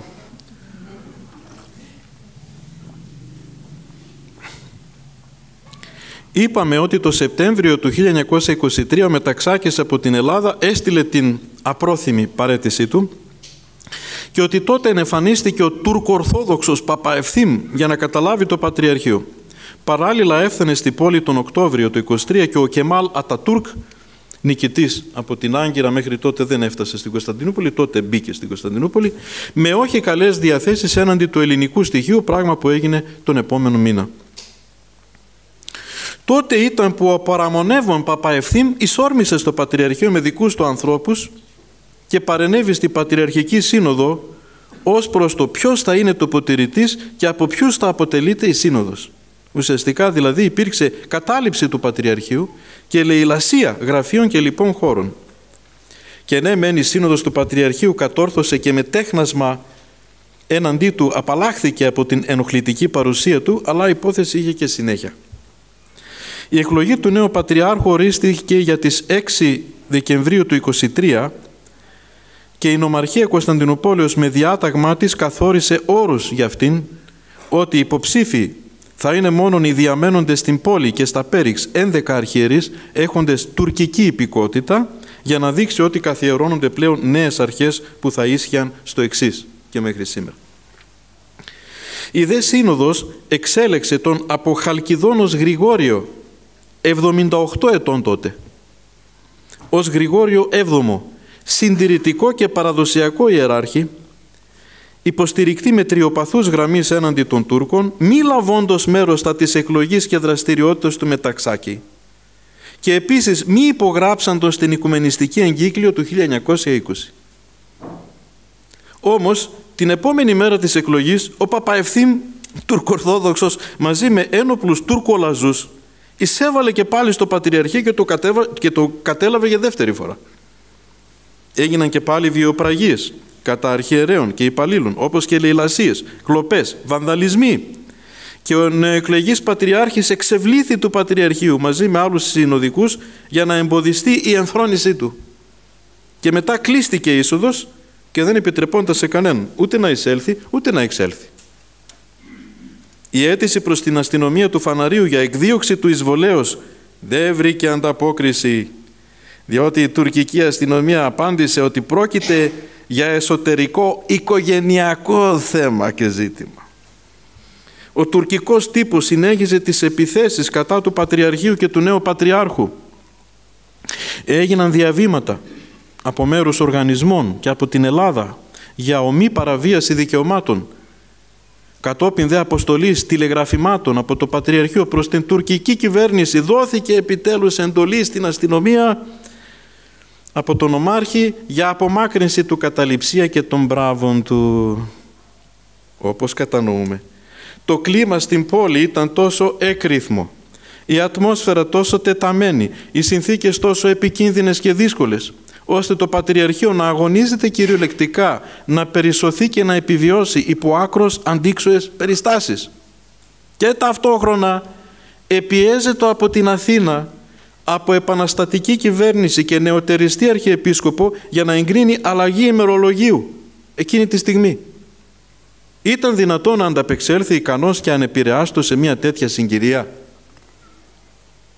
Ο Πατριάρχης Γρηγόριος τελικά ενθρονίστηκε μόλις στις 30 Δεκεμβρίου του 23 και κατόπιν σε συνοδική συνεδρίαση για το θέμα εξελάδος περί ημερολογίου, αρχάς του 24, αφού τους πίεζαν αγόρευσε κυρίως ο Μητροπολίτης Νεοκεσαρίας Αμβρόσιος Σταυρινός ο οποίος τάχθηκε υπέρ διατηρήσεως του πατρίου διότι ήταν υπέρμαχος των ιερών κανόνων και της ιεράς παραδόσεως. Γι' αυτό και θεώρησε την μεταβολή αντικανονική και αιτία προκλήσεως αναστατώσεως στην Εκκλησία όπως και ανελπίστων αρνητικών συνεπειών. Ο Πατριάρχης Γρηγόριος ο Έβδομος, ο ίδιος συντηρητικός ιεράρχης, επιδοκίμασε τα λεχθέντα υπό του Νεοκεσαρίας και εξέφρασε τη συμφωνία του. Αν και τελικά η πλειοψηφία των υπόλοιπων δέχθηκε την πρόταση από την Αθήνα και την ενέκρινε. Είναι άξιο παρατηρήσεως ότι για ένα τόσο σημαντικό και σοβαρό εκκλησιαστικό ζήτημα αποφάσισε ευσπεσμένα υποπίεση η ολιγομελή σύνοδος του Πατριαρχείου. Αποτελούμενη από αρχιερείς που είχαν απομείνει στην πόλη μπορούμε να πούμε υπό αποκλεισμών μειοψηφίσαντος μάλιστα του ίδιου του Οικουμενικού Πατριάρχου και του εισηγητού Μητροπολίτου Νεοκεσαρίας Αμβροσίου και όχι από την όλη ιεραρχία του θρόνου Την εποχή εκείνη ήταν αδύνατον άλλωστε να προσέλθουν αρχιερείς από το εξωτερικό και μάλιστα από την Ελλάδα. Ζητήθηκε όμως η έστω γραπτή διαγνώμη τους περί του θέματος τούτου; Αμφιβάλλουμε. Είναι βέβαιο ότι υπήρχαν σημαντικοί ιεράρχες οι οποίοι αντιτίθεντος στους νεοτερισμούς όπως ο Κασανδρίας Ειρηναίος. Άρα όχι μόνο δεν υπήρξε πανορθόδοξη συνένεση περί της οποίας έκαναν λόγο οι νεοτεριστές εδώ της Αθήνας, αλλά ούτε πραγματική συνοδική διαγνώμη του ίδιου του Οικουμενικού Πατριαρχείου. Όλα αυτά που σας λέω είναι παντελώς άγνωστα. Κανείς δεν ασχολήθηκε ποτέ, ούτε τα ξέρει. Ο Πατριάρχης Γρηγόριος ο Έβδομος, παρά την ορθή προσωπική στάση του, ήταν δυστυχώς εκ των πραγμάτων αναγκασμένος να υποκύψει και να ενδώσει στην πίεση των Αθηνών, μη δυνάμενος να αντιταχθεί και να έρθει σε ρήξη με την ελληνική κυβέρνηση, τη στιγμή που δεν είχε εξασφαλιστεί έναντι της τουρκικής. Γι' αυτό και μετά την επιβολή της καινοτομίας ομολόγησε το άκρος αποκαλυπτικών ότι δυστυχώς την ημερολογιακή μεταβολή την επέβαλεν η ελληνική κυβέρνηση. Αλλά θα προσθέταμε και το διοριστέν φερέφωνο της ο Αθηνών Χρυσόστομος Παπαδόπουλος. Ο Πατριάρχης Γρηγόριος στην προσπάθειά του να μετριάσει κάπως τα πράγματα πρότεινε να γίνει αλλαγή από όλες τις Ορθόδοξες Εκκλησίες ή όλοι μαζί ή κανένας. Πολύ σωστό. Χάριν τηρήσεως της κοινή ενότητος και αρμονίας Γνώριζε βεβαίως ότι αυτό δεν θα το και ίσως δια του τρόπου τούτου θέλησε να μην λάβει όλη την ευθύνη μόνος αυτός. Και επίσης άφησε να εννοηθεί ότι ο κοινός εορτασμός είναι στοιχείο ενότητος και αρμονίας. Η δε εφαρμογή του νέου ημερολογίου επιφέρει ακριβώς διαίρεση και δυσαρμονία. Τούτο ενέχει και την έμεση παραδοχή ενοχής για ό,τι κακό θα υπήρχε του εν συνεχεία, το οποίο ήταν ορατό ακόμη και διά γυμνού οφθαλμού. Αυτά τηλεγραφήθηκαν στη Σύνοδο της Εκκλησίας της Ελλάδος στις 23 Φεβρουαρίου του 24, ότι δήθεν συνοδική αποφάση ενεκρίθη οριστικός προσαρμογή ορτολογίου και πολιτικού ημερολογίου από δεκάτης προσεχούς Μαρτίου. Επιστρέφουμε στην Ελλάδα, όπου ο Αθηνών Χρυσόστομος ευτυχής διότι έλαβε υπό τις συνθήκες που αμυδρός περιγράψαμε την πατριαρχική συγκατάνευση και παρά την μη εξασφάλιση πανορθοδόξου συμφωνίας προχώρησε άμεσα επί το έργο. Έσπευσε να υπογράψει μόνος του εκπροσωπώντας την ιεραρχία σχετική εγκύκλειος της 1ης Μαρτίου 24 υπέρ της καινοτομίας στις ακίνητες εορτές και όχι στο Πασχάλιο.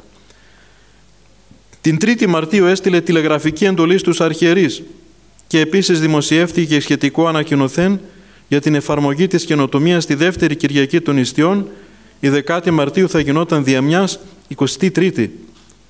Τα κείμενα αυτά του Μονοκράτορος Χρυσοστόμου είναι παραπλανητικά, αποκρύπτουν την ιστορική αλήθεια και ανατρέπουν την ορθόδοξη παράδοση. Δεν μπορώ να αναλύσω, λέω μόνο ένα πράγμα. Ως προς την δίθεν διόρθωση που επέβαλαν οι καινοτόμοι, ερωτούμε μόνο δύο απλά πράγματα τι είδους διόρθωση συνιστά η μη δυνατότητα πλέον εορτασμού του Κυρίου Πάσχα. Δηλαδή, της συμπτώσεως Ευαγγελισμού Θεοτόκου και Αναστάσεως του Κυρίου. Πράγμα που υποδηλώνει πατερικός και την ημερολογιακή αλήθεια και πραγματικότητα της Αναστάσεως του Σωτήρος μας Χριστού. Χριστός κατά την παράδοση των πατέρων αναστήθηκε 25 Μαρτίου, Ευαγγελισμού της Θεοτόκου. Αυτό με το νέο δεν πρόκειται να συμβεί ποτέ. Με το πάτριο συμβαίνει κατά κύρος. Τι είδους διόρθωση συνιστά η κατάργηση της αρχαιοπαραδότου νηστείας των Αγίων Αποστόλων, όπως συνέβη και αυτή τη χρονιά. Όταν το Πάσχα είναι όψιμο, τέλη Απριλίου ή αρχάς Μαΐου με τον νεομερολογήτικο υπολογισμό. Και μόνον αυτά τα δύο καθοριστικά ερωτήματα συντρίβουν την πλάνη του νέου ημερολογίου και αποδεικνύουν περίτερα να το απαράδεκτο του νέου παπικού ημερολογίου από κάθε άποψη. Τελικά η κατάκριτη και διάτρητη καινοτομία επιβλήθηκε πριν από 100 ακριβώς χρόνια και εδώ και έναν αιώνα δρέπουμε τους πικροτάτους καρπούς αυτής. Η αλλαγή έγινε με πολιτική εντολή για να ικανοποιήσει τον εκτός εκκλησίας πολιτισμένο δίθεν κόσμο, όπως και τους ετεροδόξους για προσέγγιση με αυτούς, και όχι βέβαια στο όνομα διατηρήσεως και ενισχύσεως της Ορθοδοξίας. Τούτο όμως ακριβώς συνιστά αμαρτία κατά της Ορθοδοξίας. Το άκρος λυπηρό είναι ότι έχει περιφρονηθεί ανοιχτά και αυθαίρετα το καθολικό ήθος της Εκκλησίας μέσω ενεργειών καινοφανών, εκνόμων και επιζημίων και μάλιστα μεμονωμένα άνευ κοινής αποφάσεως και συμφωνίας. Δεν υπάρχει περίπτωση παραδοχής του νεοτερισμού τούτου, όποια θεσμική θέση και αν έχουν τα πρόσωπα που τον επέβαλαν. Διότι δεν υπάρχει εδώ ίχνος θείας ευλογίας και εγκρίσεως, παρά μόνο κακή επιθυμία ανθρώπων πεισμόνων και αφωτίστων, οι οποίοι εισήλθαν όχι δια της θύρας εις την αυλήν των προβάτων, αλλά αλαχώθεν. Δεν αναγνωρίζονται, ούτε ακολουθούνται οι κλέπτε και ληστέ στην άχραντη νύμφη του Χριστού, την Αγία Ορθόδοξη Εκκλησία. Έβδομον. Τα μετά την ημερολογιακή αλλαγή. Το ορθόδοξο πλήρωμα της Εκκλησίας της εποχής εκείνης πριν 100 χρόνια ακόμη υπήρχε ζήλος, θερμότητα ενεφορεί το εμπολής από παραδοσιακή γραμμή γι' αυτό και διαμαρτυρήθηκε εντόνως στη Μητρόπολη Αθηνών η οποία τιμάται στον Ευαγγελισμό της Θεοτόκου πιστοί συγκεντρώθηκαν στην εορτή με το Πάτριο δύο εβδομάδες μετά την εφαρμογή της καινοτομίας και απέτησαν να αναγνωστεί η Ιερά Ακολουθία της Θεοτόκου με το Πάτριο. Μάλιστα συνέβησαν, έκαναν μόνοι τους αγρυπνία. Τρία θαύματα καταγεγραμμένα σε εφημερίδες της εποχής εκείνης. Θεραπεύθηκαν ένα κοφάλαλο παιδί και μία κοφάλαλη γυναίκα, καθώς και κάποια άλλη γυναίκα εγγενετής επιληπτική. Θαύματα τελέστηκαν και σε άλλα μέρη την αυτή ημέρα, όπως στον ναό Ευαγγελισμού στην πρόνοια Ναυπλίου, όπου θεραπεύτηκε παράλυτη και μουγγή γυναίκα, καθώς και στον Τύρναβο Λαρίσης, όπου οι πιστοί, ενώ είχαν απαγορεύσει στον ιερέα να τελέσει την εορτή του Ευαγγελισμού με το νέο, για να την εορτάσουν με το παλαιό, αυτός φοβήθηκε την εντολή της Μητροπόλεως και τελικά λειτουργήσε με το νέο. Αλλά συνέβη τότε να καταπέσει η στέγη του ναού πάνω στα κεφάλια τους.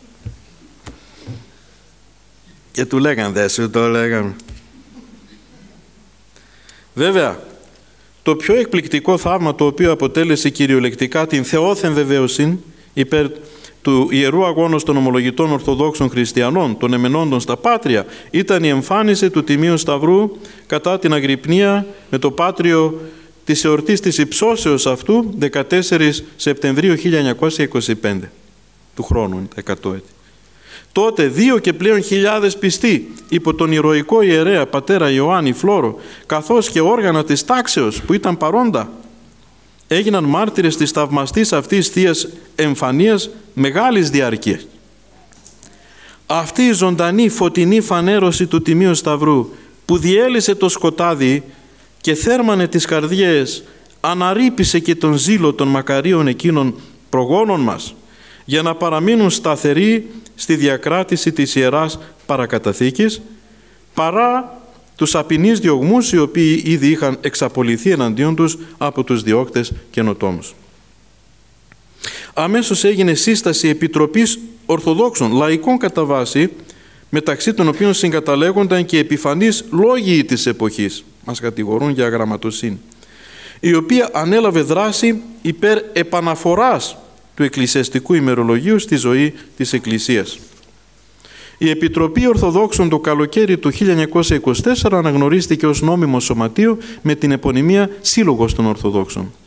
Ο Σύλλογος έδρασε μέχρι το θέρος του 26, οπότε αντικαταστάθηκε από την ελληνική θρησκευτική κοινότητα των γνησίων Ορθοδόξων Χριστιανών.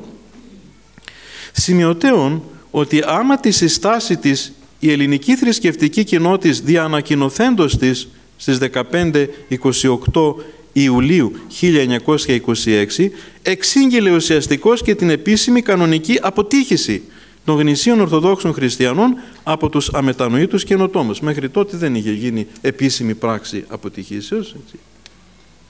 Για δύο χρόνια ήμασταν, αντιδρούσαμε στη καινοτομία χωρίς να κάνουμε επίσημη διακοπή σχέσεως. Έτσι. Γιατί πολλοί λένε πότε κόπηκε η κοινωνία, πότε... Στην αρχή ήμασταν ενταγμένοι μέσα. Απλώς, ήδη κάναμε την ε, αντίδρασή μας εσωτερικά, ώσπου αποτυχιστήκαμε δύο ολόκληρα χρόνια, αφού εξαντλήθηκαν όλα τα μέσα και τα όρια. Τούτο, η αποτύχηση, καμία σχέση δεν έχει με το σχίσμα που σπέβδουν οι καινοτόμοι να μας προσάψουν ότι δήθεν δημιουργήσαμε, διότι θυμίζουμε πώς ο σχισματοποιός κατά Άγιο Γέροντα Ιουστίνο Πόποβιτς, αυτός που έκανε σχίσμα δηλαδή, είναι ο μεταξάκης και όχι οι κανονικός χωριζόμενοι της κοινωνίας αυτού. Σχίσμα δημιούργησαν οι καινοτόμοι με αυτό που επέβαλαν όπως το επέβαλαν και όχι αυτοί που έμειναν πιστοί στα παραδεδομένα. Όπως προαναφέραμε, η καινοτόμος Εκκλησία βαρύνεται δυστυχώς για φοβερές διώξεις μεσαιωνικού τύπου, προπολεμικός και μεταπολεμικός, κατά των γνησίων Ορθοδόξων, πράγμα για το οποίο ποτέ δεν είχε την ευαισθησία να ζητήσει συγνώμη παρά Θεού και ανθρώπων. Η σκληρή στάση της, η οποία μέσω των οργάνων τάξεως έφτασε μέχρι και φόνον, Αγία Νεομάρτυρας Εκατερίνη της Μάνδρας 1927, αποτελεί όνειδος και μελανή κοιλίδα στο ενεργητικό της. Και βέβαια οδήγησε και ανάγκασε τους ακολούθους του Πατρίου να συνασπιστούν περισσότερο και να μεγαλώσουν το χάσμα μεταξύ των δύο πλευρών. Τονίζουμε μόνο ότι το νέο ημερολόγιο αποτέλεσε ουσιαστικά το βάθρο της συμφοράς για την μετάβαση και εμπλοκή στην όλο και περισσότερο διαβρινόμενη οικουμενική κίνηση. 8 συμμετοχή των καινοτόμων στην αίρεση του οικουμενισμού. Παγκόσμιο Συμβούλιο Εκκλησιών. Σε λίγο συμπληρώνω μία ώρα από ό,τι βλέπω. Δεν, δεν ανήσυχο. Ευχαριστώ που μου το λέτε, γιατί είχα αρχίσει να ανησυχώ.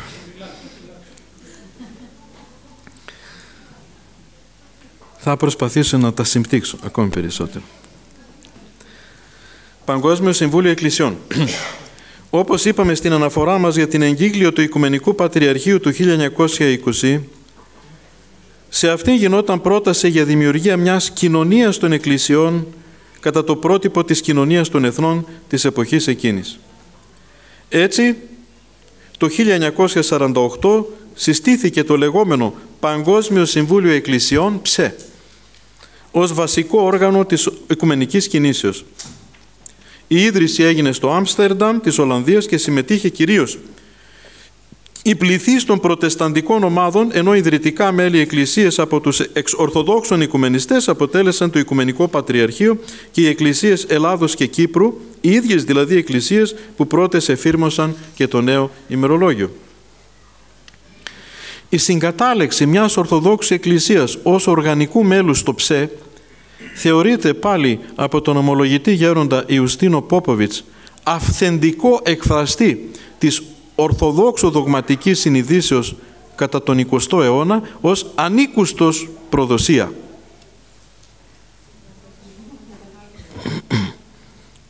Θεωρεί ταπείνωση τερατώδη την επιθυμία και θέληση των συγχρόνων εκπροσώπων της να συμβάλλουν ώστε το ΨΕ να αποτελέσει ένα νέο εκκλησιαστικό οργανισμό μια νέα εκκλησία υπεράνω των εκκλησιών, όπου Ορθόδοξοι και Ετερόδοξοι αποτελούν ισότιμα μέλη. Προ δηλώθηκαν υπεύθυνα και τεκμηριωμένα σε συνέδριο στη Θεσσαλονίκη ότι η ίδια η πράξη συμμετοχή στο ΨΕ συνιστά άρνηση της μοναδικότητας της Εκκλησίας και κατά κάποιον τρόπο εξίσωση της μιας Αγίας Καθολικής και Αποστολικής Εκκλησίας με τις ποικίλες αιρέσεις. Πρόκειται για τη μεγαλύτερη εκκλησιολογική αίρεση στην ιστορία της Εκκλησίας. Το ΨΕ, μέσω του καταστατικού του, καλεί τις εκκλησίες να τίνουν προς την ορατή ενότητα, πράγμα που προϋποθέτει ύπαρξη αοράτου ενότητος. Πώς αυτή υφίσταται; Δια του κοινού κατά αυτούς βαπτίσματος που καθιστά τους συμμετέχοντες ένα εν Χριστώ. Αυτή είναι σαφέστατα η συλλογική συνείδηση όσων αποτελούν μέλη του ΨΕ και εκφράζεται με πολλούς και ποικίλους τρόπους μέσα ιδίως και των κοινών μηνυμάτων ενότητος των Γενικών Συνελεύσεων του ΨΕ. Μάλιστα σε κάποιες περιπτώσεις αλληλοαναγνωρίζονται διμερώς οι βαπτίσεις των ερετικών και αποκλείεται κάθε αναβαπτισμός. Οι θεολογίες αυτές, όπως της αοράτου ενότητος της Εκκλησίας και της βαπτισματικής, είναι σαφώς ερετικές. Πρόκειται σαφώς για σαθρές βάσεις που συν της άλλης καταργούν την κλίση σε μετάνοια και ιεραποστολική έκφραση της Εκκλησίας. Ταύτα όμως αφέστατα καθιστούν τους εξορθοδόξων οικουμενιστές αλωτρίους Θεού, ξένους του Θεού, κατά τον Άγιο Ομολογητή Θεόδωρο Στουδίτη. Ο εξουνετισμός των εξορθοδόξων οικουμενιστών.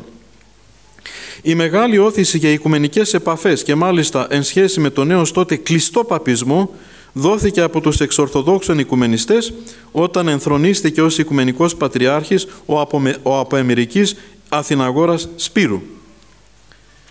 Ήδη στην ενθρονιστήρια ομιλία του Αθηναγόρας τον Ιανουάριο του 1949 στράφηκε στους ετεροδόξους λέγοντας «Με τα περάοντου σεβασμού, αδελφικών εν Χριστώ ασπασμών απευθύνομεν και προς τους επτούς αρχηγούς των άλλων χριστιανικών εκκλησιών της Ευασμίας Ρώμης, της Αγγλίας κτλ. Χείρα ορέγων και αυτής η συνεργασία έναντι των κατά της Εκκλησίας και κοινωνίας κινδύνων. Η έναρξη φιλικής προσεγγίσεως έγινε το 1959 και από το 1960 άρχισαν επαφές με Αγγλικανούς και Παπικούς και ήδη στην πρώτη προσυνοδική διάσκεψη της Ρόδου το 1961 υπήρχαν ετερόδοξοι παρατηρητές και ορίστηκε επιτροπή για εξέταση των σχέσεων μαζί τους στο πνεύμα της εγκυκλίου του 1920. Αρχάς, Σεπτεμβρίου του 1900, αρχάς Δεκεμβρίου του 1963 με τη λήξη των εργασιών της τρίτης περίοδου της Βατικανής Συνόδου ο Πάπας Παύλος Έκτος ανακοίνωσε ότι θα μεταβεί στους Αγίους Τόπους. Αμέσως τότε ο Πατριάρχης Αθηναγόρας έσπευσε να ανακοινώσει ότι θα μεταβεί επίσης και αυτός για συνάντηση των Αγίων του Χριστού Εκκλησιών Ανατολής και Δύσεως. Είναι ακενήν και ευλογημένην εμπνεύματι ενότητος οδών διανοίξομεν. Τελικά, κατόπιν προετοιμασιών, η συνάντηση Πάπα και Πατριάρχη έγινε στην Ιερουσαλήμ στις 5 Ιανουαρίου 1964, ακριβώς δηλαδή πριν 60 χρόνια ελήθηκε σιωπή αιώνων και εγγενιάζεται η εφετερία μιας νέας χριστιανικής πορείας, δήλωσε ο Αθηναγόρας, ο οποίος δόρισε στον Πάπα πολύτιμο αρχιερατικό εγκόλπιο. Ήταν η απαρχή κοινών πρωτοβουλειών. Τον Μάρτιο του 1965, σε επίσκεψη παπικής αντιπροσωπείας στο Φανάρι, ο Πατριάρχης Αθηναγόρας χαιρέτησε το γεγονός ως σπουδαίο σταθμό στην εγγενιαστήσα νέα ιστορία του χριστιανισμού Ανατολής και Δύσεως. Είναι χαρακτηριστικό ότι το φανάρι ήταν αυτό που πρότεινε στο Βατικανό για το Δεκέμβριο του 1965 να γίνει άρση των αναθεμάτων του σχίσματος. Σύμφωνα με το καταρτιστέν πρόγραμμα, οι τελετές άρσεως των αναθεμάτων έλαβαν χώρα ταυτόχρονα, την Τρίτη, 7 Δεκεμβρίου 1965, στη Βασιλική του Αγίου Πέτρου στο Βατικανό και στον Πατριαρχικό Ναό του Αγίου Γεωργίου στο Φανάρι, παρουσία αντιστοίχων αντιπροσωπιών. Στην τελετή στο Βατικανό τότε, το 1965, η φαναριώτικη αντιπροσωπεία περιλάμβανε και τον νέο διάκονο Βαρθολομαίο Άρχοντόνη, ο οποίος ολοκλήρωνε τότε τις σπουδές του στο Ινστιτούτο Ανατολικών Σπουδών στη Ρώμη. Κατόπιν τούτου, οι οικουμενιστικές σχέσεις Βατικανού Φαναρίου πύκνωσαν υπερβολικά επικράτησε μια εφορία απιστεύτου εντάσεως. Ο Πάπας Παύλος Έκτος επισκέφθηκε επίσημα το φανάρι τον Ιούλιο του 67, γεγονός που ο Αθηναγόρας χαρακτήρισε κόσμο ιστορικό. Επίσκεψη στο Βατικανό ανταπέδωσε ο Πατριάρχης Αθηναγόρας τον Οκτώβριο του ιδίου έτους. Το οικουμενιστικό πρόγραμμα του Αθηναγόρου τότε περιλάμβανε επίσκεψη στο ΨΕ στη Γενέβη, όπως και του πριμάτου των Αγγλικανών στο Λονδίνο, όπου και έγινε δεκτός ως ο Απόστολος της ενώσεως ολοκλήρου του χριστιανικού κόσμου. Καταφεύγουμε και πάλι στην αυθεντία του Αγίου Γέροντος Ιουστίνου Πόποβιτς για να ακούσουμε την αξιολόγησή του περί του Αθηναγόρου. Αυτός με νεοπαπιστική συμπεριφορά σκανδαλίζει τις ορθόδοξες συνειδήσεις με τους λόγους και τις πράξεις του, αρνούμενος την μοναδικότητα και πανσωστική αλήθεια της Ορθοδόξου Εκκλησίας και πίστεως και αναγνωρίζουν τη Ρωμαϊκή και τις άλλες αιρέσεις ως ισότιμες με την αλήθεια, αναγνωρίζονταν τον Ρωμαίο άκρο ποντίφικα με όλη την δαιμονική, αντιεκκλησιαστική υπερηφάνειά του, προετοιμάζουν μεγάλη σύνοδο με σχολαστικο-προτεσταντική θεματολογία. Αποτελεί δε πηγή αναρχισμού και μηδενισμού, δικαίως χαρακτηριζόμενος από τους Αγιορείτες ως ερετικός και αποστάτης. Είναι πράγματι εχμηρή η γλώσσα της αληθείας, αλλά δεν υπάρχει άλλη ιατρία ενώπιον τέτοιου είδους αποστατικών προσώπων και φαινομένων. Πώς να χαρακτηρίσεις κάποιον ο οποίος συν της άλλης ήταν και ελευθεροτέκτονας, μασόνος; Μυηθής σε στοά στην Αμερική κατά τη διάρκεια της εκεί 20 ετούς περίπου παραμονής του ως αρχιεπίσκοπο, ως αρχιεπισκόπο Αμερικής. Μόνον διαμετανοίας γίνεται η επάνωδος στην Εκκλησία, στον κανόνα της ευσεβίας, όσων εξέπεσαν δια της προσθέσεως μάλιστα και πολλών άλλων αιρέσεων και καινοτομιών. Η οδός αυτή καμία σχέση δεν έχει με τον σύγχρονο οικουμενισμό, ο οποίος φέρει μόνο σύγχυση από την συγκριτιστική συνύπαρξη και την ανάμιξη αληθείας και ψεύδους, φωτός και σκότους. Οι σύγχρονοι οικουμενιστές παραλυρούν πραγματικά ευρισκόμενοι σε ωκεανό συγχύσεως και πλάνης. Κατά αυτούς τα αναθέματα του 1054 ήταν απλώς ένας σταθμός στην ιστορία της αμοιβαίας αποξενώσεως των δύο εκκλησιών. Παρέμειναν διασπασμένες, λένε, αλλά εντός της αυτής μιας εκκλησίας. Δεν υφίσταται καν σχίσμα μεταξύ τους. Άλλοι εκατέρωθεν ποινές ήταν αποτελέσματα παρεξηγήσεως. Όταν τελειώσει το τάλαντο, πέστε μας, κάνουμε το ευλογητός. Σας παρακαλώ, τα τηλέφωνα περιορίστε. Ό,τι και να συνέβη τότε, εκτός και αν είναι για μένα, σταμάτα γιατί δεν σε βλέπω καλά. Θα πέσει τάλαντο πάνω σου. Ό,τι και να συνέβη τότε δεν υπάρχει πλέον, λένε οι οικουμενιστές έτσι, σύγχρονοι, διότι το 65 έγινε στη Ρώμη και στην Κωνσταντινούπολη άρση των αναθεμάτων, γι' αυτό και λένε βρισκόμαστε πλέον απλώς σε κατάσταση ακοινωνισίας μέχρι να λυθούν οι υπάρχουσες δογματικές και άλλες διαφορές. Γι' αυτό κάνουν ό,τι κάνουν με τους παπικούς. Ε. Μη μας παραξενεύει που βλέπουμε όλα τα, αυτά τα φρικτά οικουμενιστικά στις ημέρες μας, ιδίως που κάνει ο νυν Πατριάρχης Βαρθολομαίος. Μα πιστεύουν ότι είναι μία εκκλησία. Δεν έχουν, είναι απλώς λέει σε ακοινωνισία. Τίποτε δεν τους χωρίζει. Κάτι μικροπροβλήματα που τακτοποιούνται. Στο διάλογο ή ξέρω εγώ με άλλους τρόπους. Εμείς απλώς εκπλητώμεθα και λέμε τι κάνουν αυτοί; Τι δουλειά τους; Σε αυτό που πιστεύουν. Αυτό που πιστεύουν κάνουν. Θα πεις αυτό που πιστεύουν είναι το ορθόδοξο. Τώρα λέμε το ορθόδοξο. Οι σύγχρονοι οικουμενιστές, ναι τα είπαμε, και όμως ο παπισμός με τη δεύτερη Βατικανή 1962-65 εγγενίασε θεαματική αλλαγή με τον δικό του πλέον ρωμαϊκό, ρωμαιοκεντρικό οικουμενισμό ανοιγόμενος στον λοιπό χριστιανικό κόσμο ως η μία και μόνη Εκκλησία του Θεού με επικύρωση και επαύξηση των αποφάσεων της πρώτης Βατικανής πρωτείου και αλάθητο του Πάπα. Ενδιαφέρεται ο παπισμός μόνο για αποδοχή του πρωτείου του Πάπα από τους άλλους σε μία μορφή κατανοητή και αποδεκτή από τους εξορθοδόξων οικουμενιστές για τον εξονητισμό τους. Γι' αυτό και η φωνή της αληθείας για το, δια του Αγίου Μητροπολίτου Φιλαρέτου της Ρωσικής Διασποράς ηχεί ξεκάθαρα. Καμία ένωσης δεν είναι δυνατή εφόσον δεν αποκηρύξει τα νέα δόγματά του ο παπισμός. Έως τότε οι αναθεματισμοί του 1054 διατηρούν όλη την ισχύ τους και η άρσης τους αποτελεί πράξη παράνομων και άκυρων. Στον σύγχρονο οικουμενικό διάλογο με τους παπικούς, παρά τις σοβαρές δογματικές και άλλες διαφορές, ο παπισμός αναγνωρίστηκε ως αδελφή εκκλησία με αδιάκοπη και αδιατάρακτη ισχυρή μυστηριακή χάρη και πληρότητα, όπως έγινε στο Βελεμένδιο του Λιβάνου το 1993, Αν και οι παπικοί έσπευσαν να διευκρινίσουν το 2001 ότι δεν αποτελούν ουσιαστικά αδελφοί κανενός, αλλά μητέρα εκκλησία πάντων. Εν τούτης, άπειρες είναι οι ενέργειες τόσο του σημερινού οικουμενιστού Πατριάρχου Βαρθολομαίου, όσο και των λοιπόν εξορθοδόξων οικουμενιστών, δια των οποίων κηρύσσεται και βιώνεται συνεχώς η συγκριτιστική οικουμενιστική αλληλοπεριχώρησή τους σε πλαίσια ψεύδους και απάτης, διότι στην ουσία πρόκειται για όλο και περισσότερο και μεγαλύτερη πνευματική μόλυνση και εξαχρίωση τους.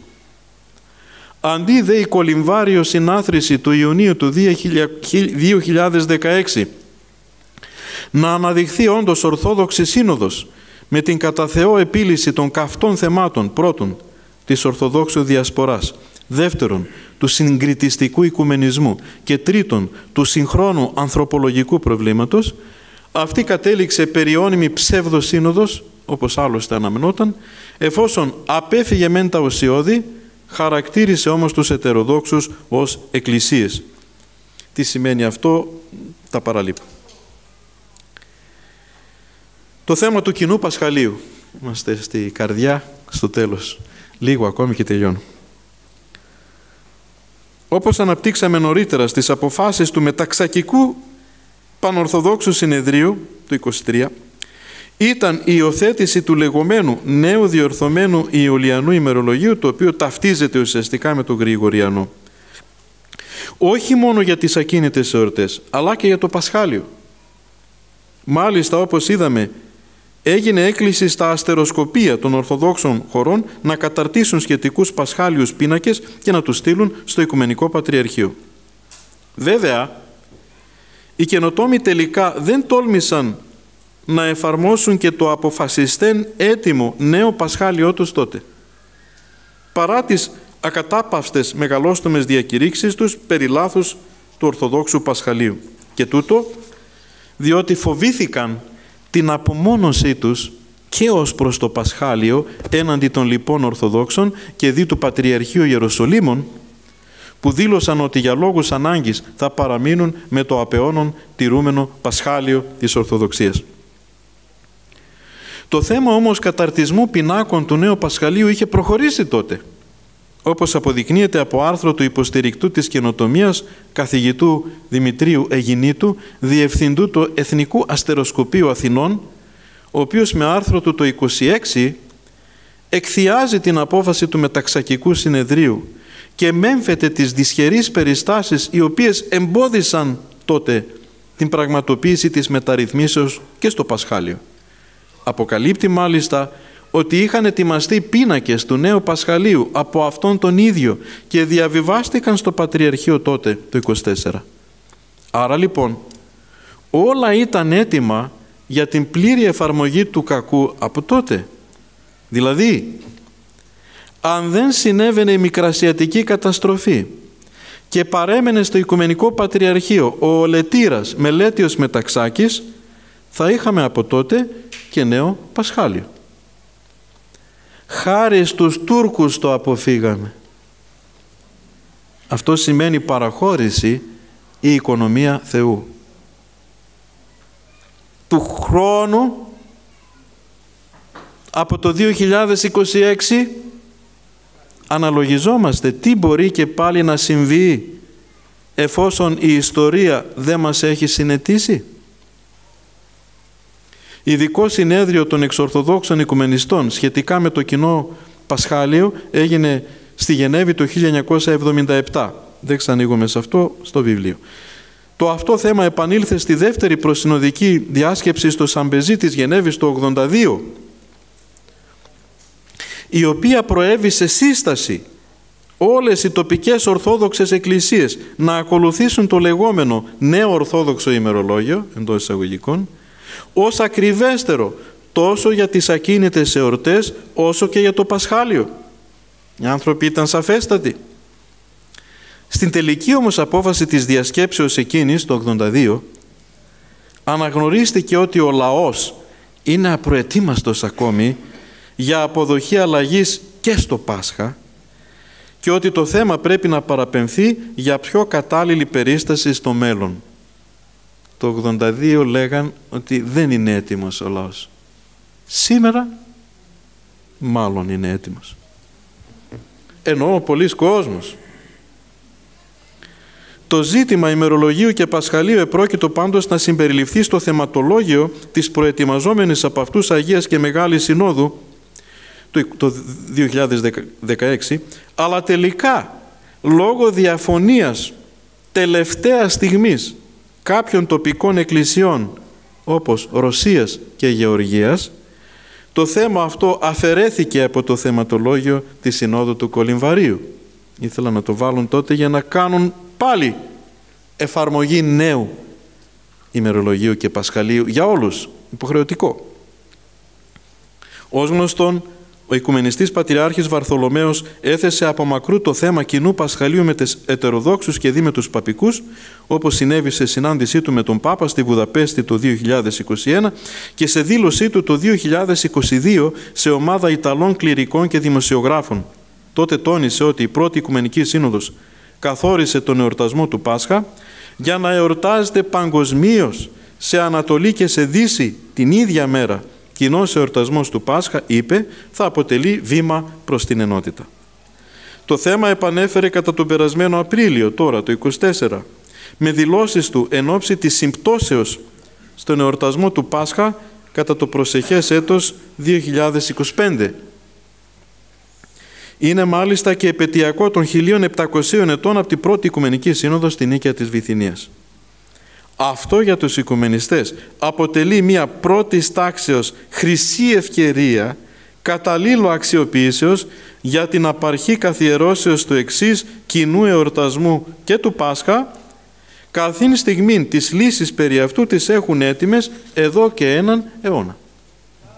Εν τω μεταξύ δεν είναι εκτός σημασίας η επίσκεψη στο Βατικανό του Υπουργού Παιδείας και Θρησκευμάτων της Ελλάδος μαζί με τον Παπικό Αρχιεπίσκοπο Αθηνών και τον Γενικό Γραμματέα Θρησκευμάτων Καλαντζή στις 8 Μαΐου του 24 τώρα πριν πέντε μήνες κατά την οποία έγινε επιβεβαίωση στον Πάπα επισήμως ότι η ελληνική κυβέρνηση στηρίζει ένθερμα την ιδέα κοινού πλέον εορτασμού του Πάσχα. Όπως καταλαβαίνουμε η ιστορία επαναλαμβάνεται. Στη δε πρόσφατη δεκάτη σύναξη της ιεραρχίας του Οικουμενικού Θρόνου στην Κωνσταντινούπολη, τώρα πριν ένα μήνα, αρχάς Σεπτεμβρίου, αναγράφηκε στο ανακοινωθέν ότι στους εορτασμούς για την επέτειο 1700 ετών από την πρώτη Οικουμενική Σύνοδος στη Νίκαια της Βυθινίας το Μάιο του 25 θα συμμετάσχει αυτοπροσώπος ο Πάπας της Ρώμης Φραγκίσκος. Και αφού η Σύνοδος εκείνη ασχολήθηκε με την ημερομηνία του Πάσχα, εκφράζεται η ευχή εκ ψυχής από όλους την ελόγω σύναξη, ο κοινός εορτασμός του Πάσχα του επομένου έτους να μην αποτελέσει ευτυχή απλώς σύμπτωση, αλλά την απαρχή της καθιερώσεως κοινής ημερομηνίας για τον εορτασμό του κατέτος, εδώ είναι το, η παγίδα, σύμφωνα προς το Πασχάλιο της καθημάς Ορθοδόξου Εκκλησίας.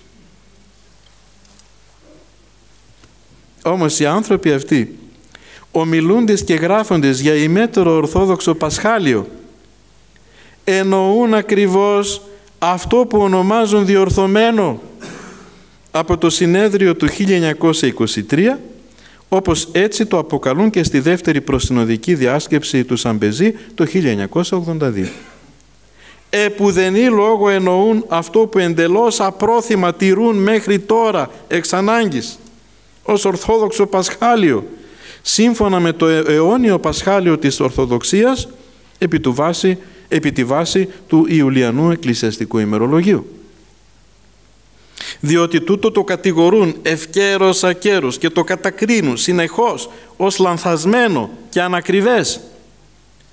Αυτό που θεωρούν ως εντελώς ακατάλληλο για τους Ορθοδόξους δεν είναι φυσικά δυνατόν να το προτείνουν για κοινή χρήση στους επιστημονιστές παπικούς και στους ορθολογιστές προτεστάντες. Δεν πρόκειται να τους γυρίσουν 500 χρόνια σχεδόν πίσω τώρα πρώτης Γρηγοριανής μεταρρυθμίσεως. Και πράγματι, το πρόσχημα ότι καλούν τους άλλους για κοινό εορτασμό του Πάσχα βάσει του διορθωμένου Ορθοδόξου Πασχαλίου όπως το ονομάζουν είναι για τους εξορθοδόξους οικουμενιστές μια θαυμάσια ευκαιρία. Διότι, πρώτον, καθιερώνουν τον πολυπόθητο συνεορτασμό με τους παπικούς και λοιπούς ετεροδόξους που είχαν προετοιμάσει εδώ και έναν αιώνα. Και μάλιστα προωθούν και το κοινό Πασχάλιο σε πρακτική εφαρμογή και στο χώρο τους όχι ως πρωτοφανή καινοτομία όπως και είναι αλλά δήθεν ως ορθόδοξη λύση η οποία γίνεται αποδεκτή από τους ετεροδόξους και άρα τους εξίζουν για την επιτυχία τους αυτή ακόμη και συγχαρητήρια. Πιστεύω να γίνουμε κατανοητός τι λέω. Θέλω να ίσως εξήγηση αυτά. Δεύτερον, επίσης με την πιθανή εφαρμογή της Ορθοδόξου εντός εισαγωγικών αυτής λύσεως και στο Πασχάλιο, οι εξορθοδόξων οικουμενιστές απομακρύνονται εντελώς και ως προς το κινητό πλέον εορτολόγιο από εκείνους τους Ορθοδόξους και μάλιστα κυρίως και βασικός τους Ρώσους οι οποίοι τους χάλασαν κυριολεκτικά τα σχέδια παραμονές της ονειρεμένης του Συνόδου του Κολυμβαρίου ως προς το θέμα ημερολογίου Πασχαλίου. Χωρίς μάλιστα εν τέλει να προσέλθουν εις αυτήν δεν πήγανε στο Κολυμβάρι οι Ρώσοι και οι Γεωργιανοί εξαπατώντας τους και άρα εξοργίζοντάς τους αφαντάστος.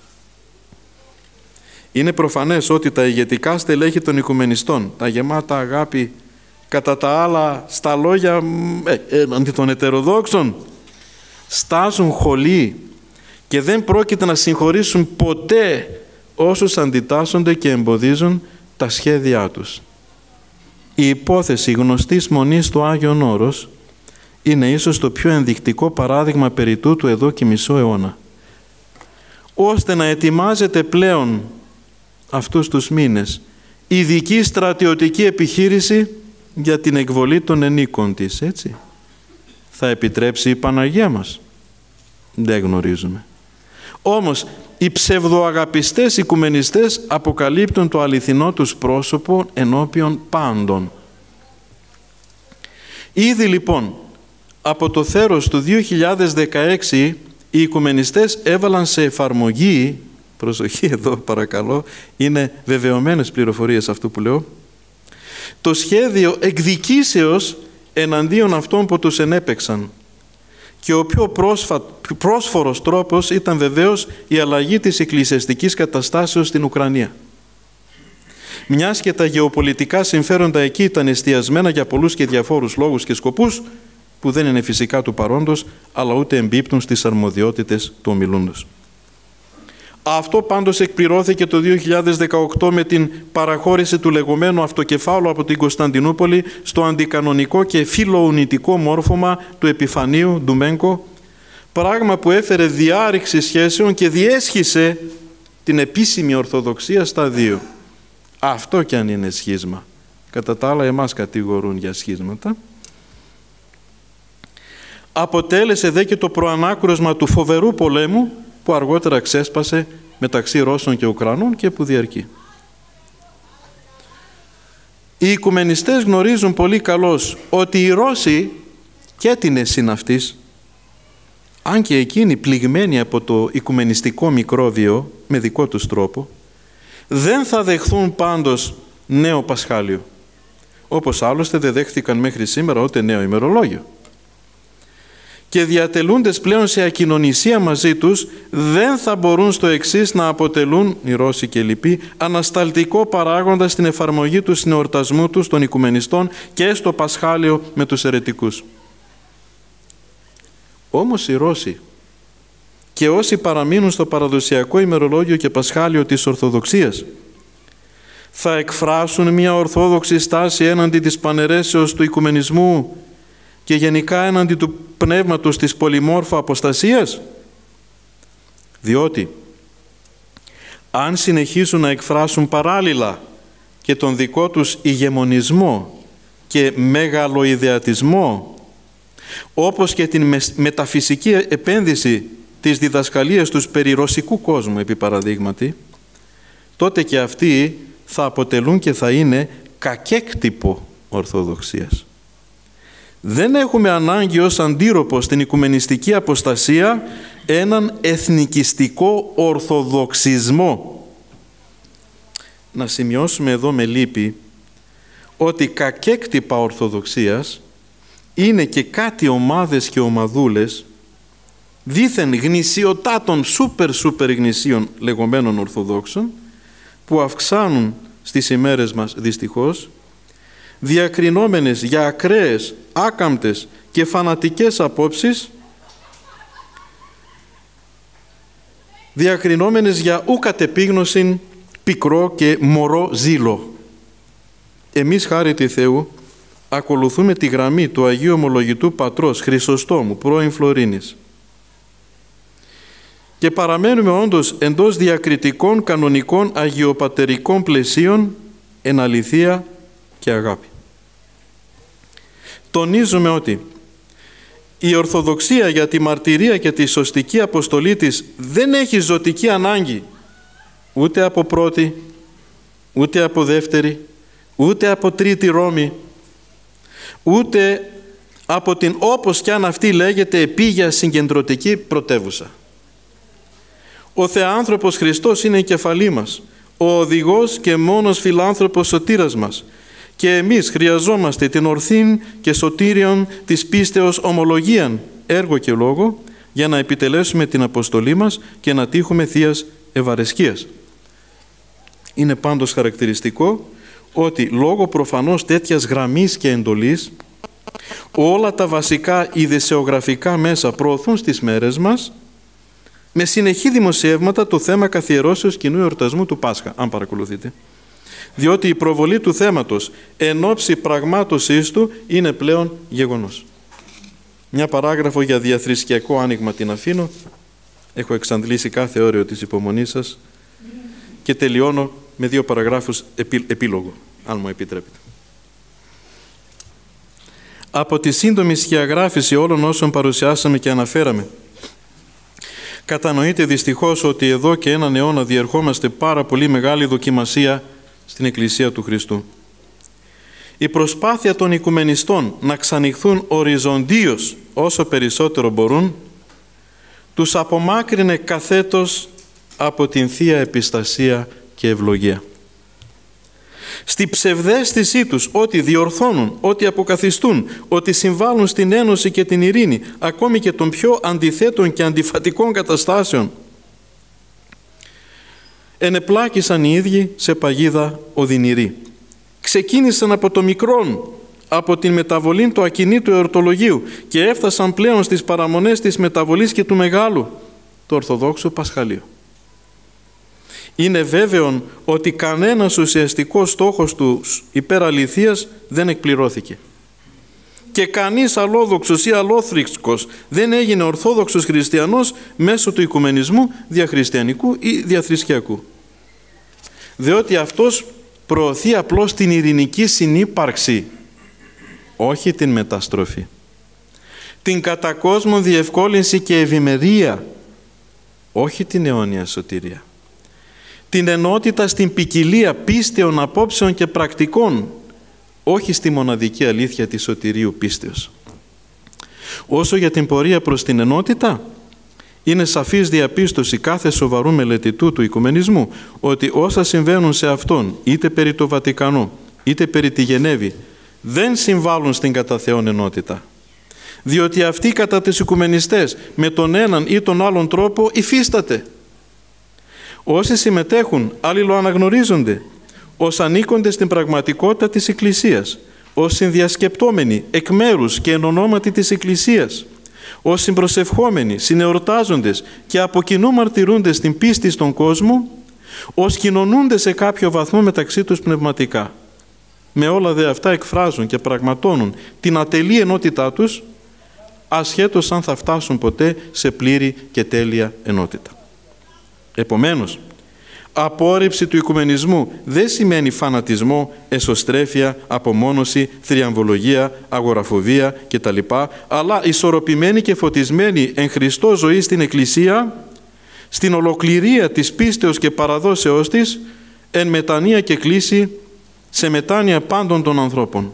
Ήθε να παραμείνουμε αμετακίνητοι και ακαινοτόμητοι, με Άγιο κατεπίγνωση ζήλο στην οδό της αληθείας, στο μικρό πίμνιο του Χριστού, στην αληθινή εκκλησία Του, με υπομονή απέραντη και αγάπη ακόμη και για τους εχθρούς, για να τύχουμε του Θείου Ελέους.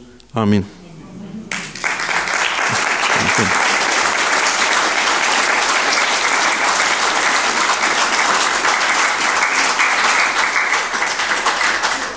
Δύο ακόμη κεφάλαια δεν τα έθιξα καθόλου, αυτό μας έλειπε.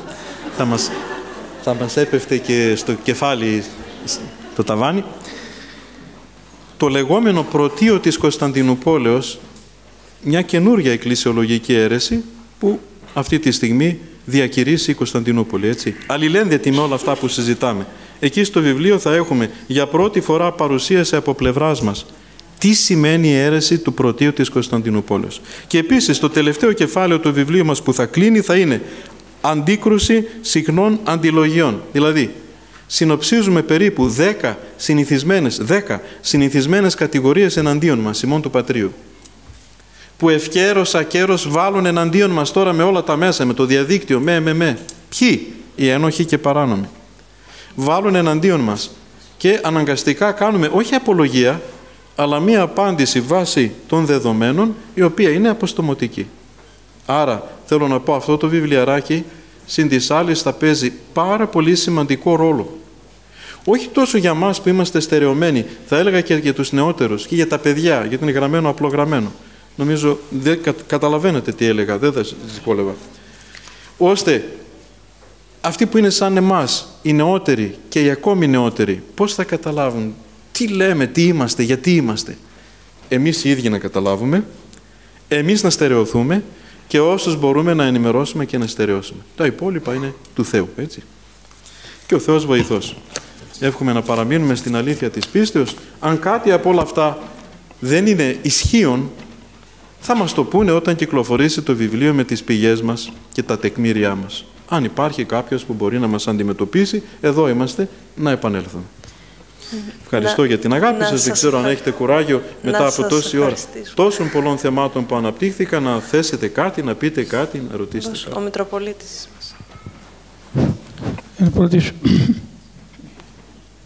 εν πρώτης θα, θα, ήθελα εκ μέρους όλων των παρόντων και συμπαρόντων να σας ευχαριστήσουμε για την τόσο τεκμηριωμένη εισήγησή σας για θέματα τα οποία τουλάχιστον για εκείνους που βέβαια μελετούν το ζήτημα, λίγο πολύ ήταν γνωστά, αλλά τώρα τα θέσατε μέσα σε ένα γενικό πλαίσιο, το οποίο μας βοηθεί να ερμηνεύσουμε ε, πιο σωστά τα επιμέρους. Και ευχόμεθα πράγματι το βιβλίο το οποίο θα κυκλοφορήσετε να αποτελέσει ένα ισχυρό βοήθημα. Και έχουμε ανάγκη από τέτοια βιβλία.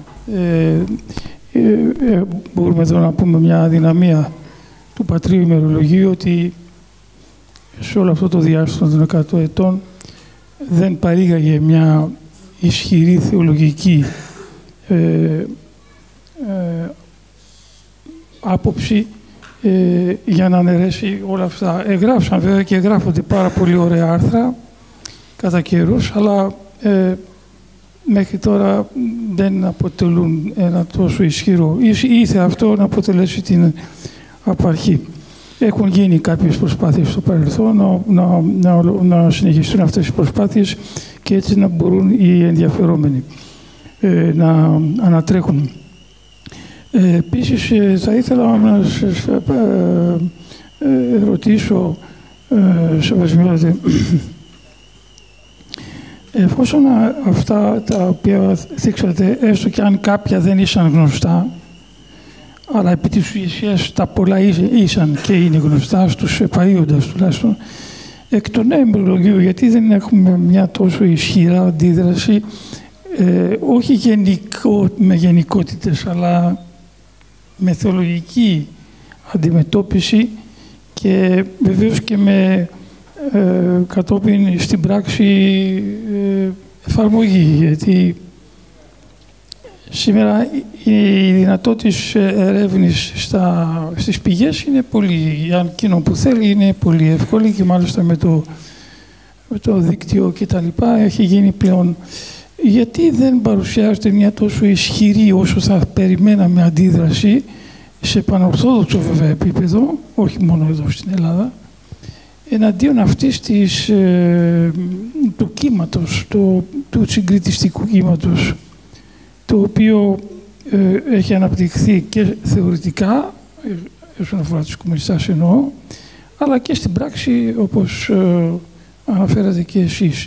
Υπόψη είναι ότι για εκείνους που δεν γνωρίζουν, το λέω αυτό για και κλείνω, ε, ότι υπάρχουν τοπικές εκκλησίες, λεγόμενες ορθόδοξες ε, εκκλησίες, οι οποίες εφαρμόζουν το Πασχάλιο, το νέο Πασχάλιο. Ναι. Φιλανδία και Εστονία. Ναι, έχουμε πρόβλημα, το οποίο δεν ανησύχησε, δεν δημιούργησε πως αυτή παρε... και μάλιστα αυθαίρετος, όχι κατόπιν συνοδικής ή συλλογικής ή πανορθόδοξου αποφάσεως. Για τις καινοτομίες που συνέβησαν προπολεμικά οι επίσημες τοπικές ορθόδοξες εκκλησίες ήταν σε πάρα πολύ δύσκολη θέση, κάθε μία από αυτές. Υπήρχαν αντιδράσεις σε αυτό που έκανε η Κωνσταντινούπολη, αλλά ίσως όχι τόσο ισχυρές.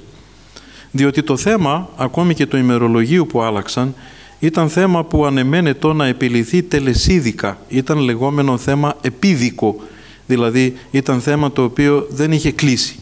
Άρα, άρα εκκρεμούσε και πίστευαν ότι θα γίνει κάποια σύνοδος και οι δικοί μας του Πατρίου το πίστευαν, τουλάχιστον οι, ορθοφρο, οι ορθοφρονούντες υπό τον Άγιο πρώην Φλωρίνης Χρυσόστομο, αναμέναμε τη σύγκληση κάποιας συνόδου, Ορθοδόξου Συνόδου, η οποία θα επέλυε το θέμα Ορθοδόξος και θα ανάγκαζε τους καινοτόμους να ανακάμψουν.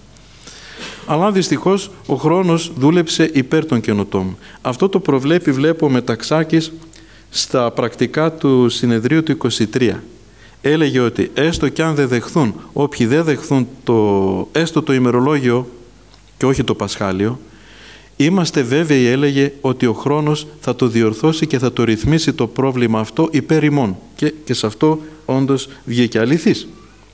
Αυτοί ε, βαδίζουν μεθοδικά και ξέρουν ότι θα εξελιχθούν τα πράγματα με τέτοιον τρόπο που οι πολλοί θέλοντας και μη όσα έχουν συμβεί de facto, σαν να λέμε, έστω και παρανόμος, έστω και αντικανονικός, θα τα αποδεχθούν.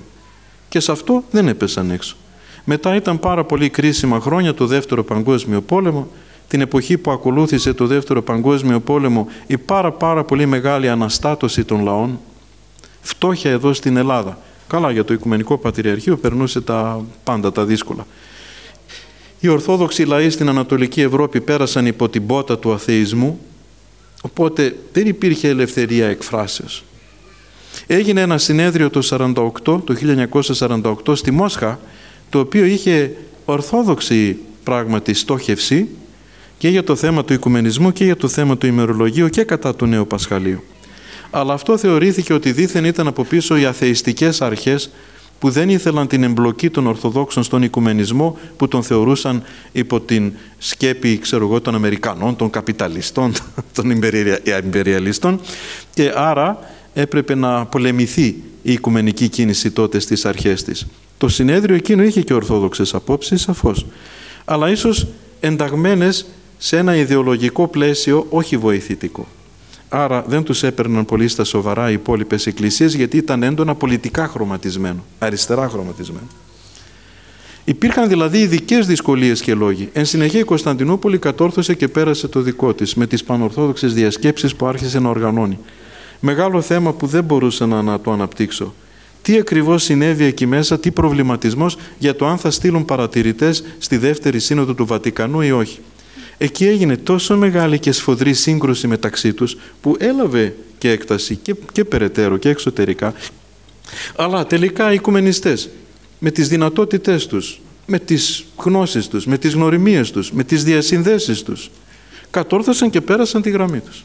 Αυτό γινόταν. Οι οικουμενιστές είναι άκρος παράδοξο, οι Κωνσταντινοπολίτες βασικώς. Κάποια βασικά στελέχη τους μέχρι σήμερα Στη προσπάθειά τους να περισσώσουν το πατριαρχείο τους, όπως λένε, από τις Τούρκους, από τους Ρώσους, από εμπλοκές. Στη προσπάθειά τους να περισσώσουν το θεσμό του πατριαρχείου, κάτι πολύ σοβαρό λέμε τώρα, βεβαιωμένο και πιστοποιημένο, είναι ικανοί να θυσιάσουν την πίστη. Προσέξουμε αυτό.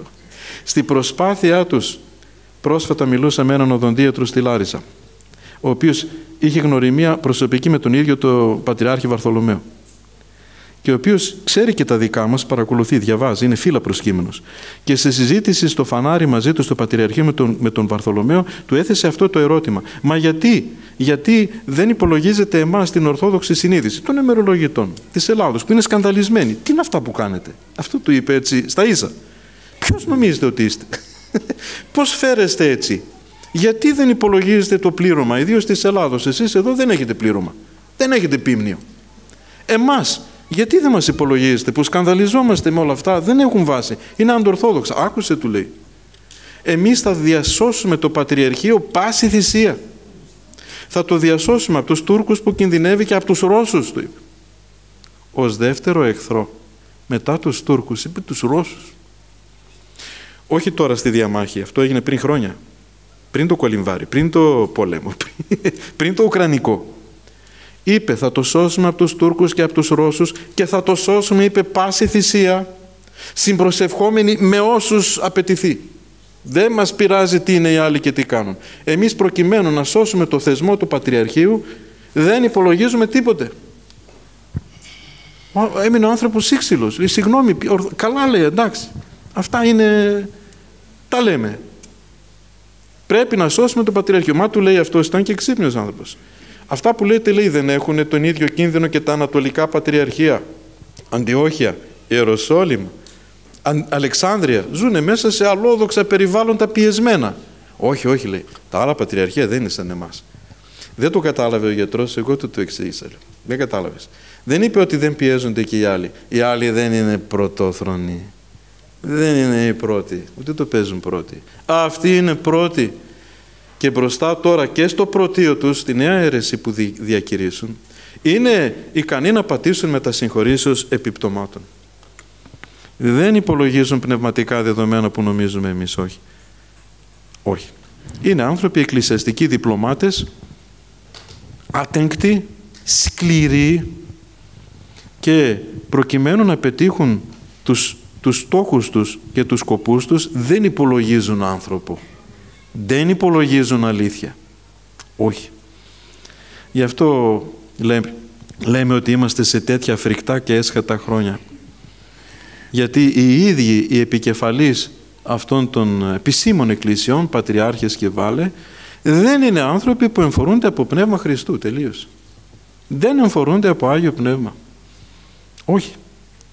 Άλλα έχουν στο μυαλό τους. Ναι, αλλά υπάρχει, υπάρχει και ο ιδεολογικός οικουμενισμός ο οποίος ε, εκ, εκφράζεται μέσω των θεολόγων των μη πατριαρχικών οι οποίοι έχουν εμποτιστεί με το πνεύμα αυτό και δεν είναι όπως είπατε αθεοφοβίος το πούμε έτσι πιστεύουν σε αυτή την προσπάθεια μέσω των διαλόγων και των λοιπόν... Την οποία έχουν ενταγμένη όμως μέσα σε αυτό το βασικό πλαίσιο σκέψεως. Αυτό θέλω να πω διατελούν μέσα σε μία πλάνη, πέλαγος και ωκεανός πλάνης. Πιστεύουν ότι έτσι υπηρετούν την αλήθεια. Αλλά αν τους ρωτήσεις τι είναι αλήθεια, έχουν αυτή την αγάπη που είχε ο Άγιος Πατέρας Ιουστίνος Πόποβιτς για το Θεάνθρωπο.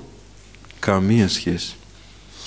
Και οι Αγιορείτες; Οι Αγιορείτες και οι λοιποί είχαν αντιδράσεις μέχρι και την εποχή του Αθηναγόρου. Επί Δημητρίου κατέβασαν τους τόνους επειδή αυτός ήταν χαμηλών τόνων αλλά έκανε ακριβώς το ίδιο έργο και επί Βαρθολομαίου κάτι προσπαθούν να κάνουν αλλά ο Βαρθολομαίος έχει μια τρομακτική επιβλητικότητα που δεν είχε ούτε ο Δημήτριος ούτε ο Αθηναγόρας.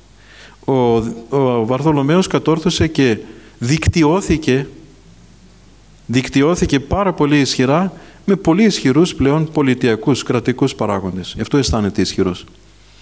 Γι' αυτό δεν υπολογίζει κανέναν, κυριολεκτικά κανέναν. Γι' αυτό και όλοι τον τρέμουν και οι αγιορείτες τον τρέμουν. Όσοι δεν τον τρέμουν πρέπει να εξαφανιστούν. Οι υπόλοιποι πρέπει να κάνουν υπακοή εξ, από φόβο, εξ ανάγκης. Ε, είναι, είναι σαφέστατος, είναι ξεκάθαρος. Δεν κάθεται να συζητήσει. Επιβάλλει και αλίμονο σε όποιον αντιδράσει. Καθιερώθηκε. Το κατάφερε αυτό. Γι' αυτό και δεν κάνει πίσω στη θέση του. Αν και είναι ασθενής και είναι υπερήλικας ήδη, δεν κάνει πίσω. προετοιμάζει τον διάδοχο εκεί, τον Χαλκιδόνος, τον Εμμανουήλ, αλλά δεν είναι ακόμη κανένας στο επίπεδο που θα ήθελε αυτός. Στο επίπεδο το δικό του. Αλλά εδώ δεν μιλάμε για κατά Θεόν μεγέθη καθόλου. Μπήκαν άλλα πράγματα. Ε, εξουμε, εξ, έγιναν οικουμενιστικά όλα, οι θεολογικές σχολές, τα πάντα, όλα εξαγοράστηκαν, όλα πατήθηκαν. Δεν υπάρχει ουσιαστικός κίνδυνος. Κάποιοι λίγοι διαμαρτύρονται μεμονωμένα και αυτοί ας πούμε αντιμετωπίζονται ως περιθωριακοί και ανάξιοι προσοχής και σημασίας.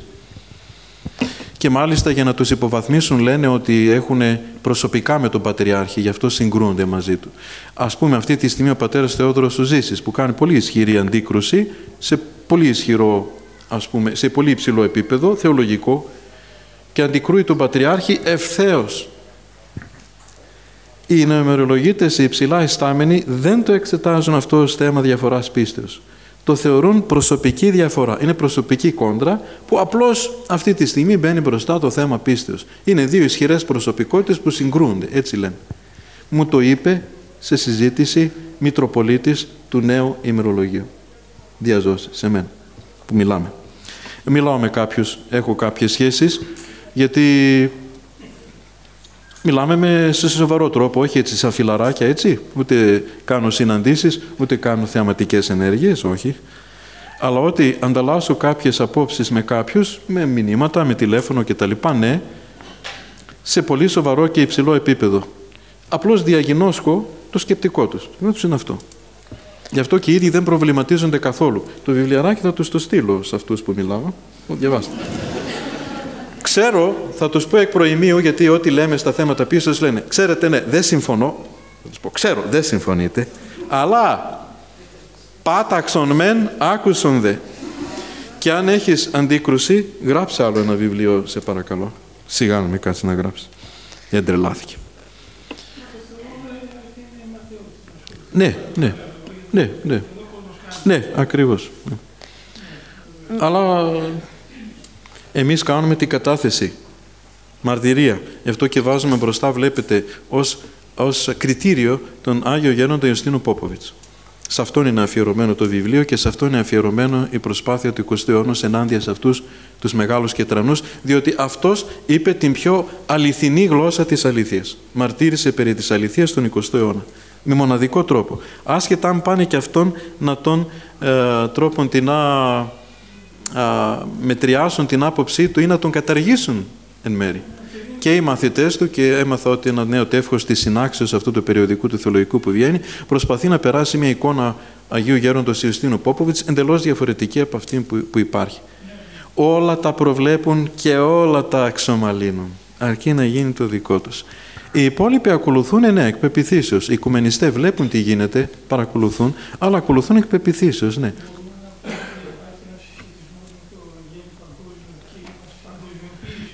Σαφώς.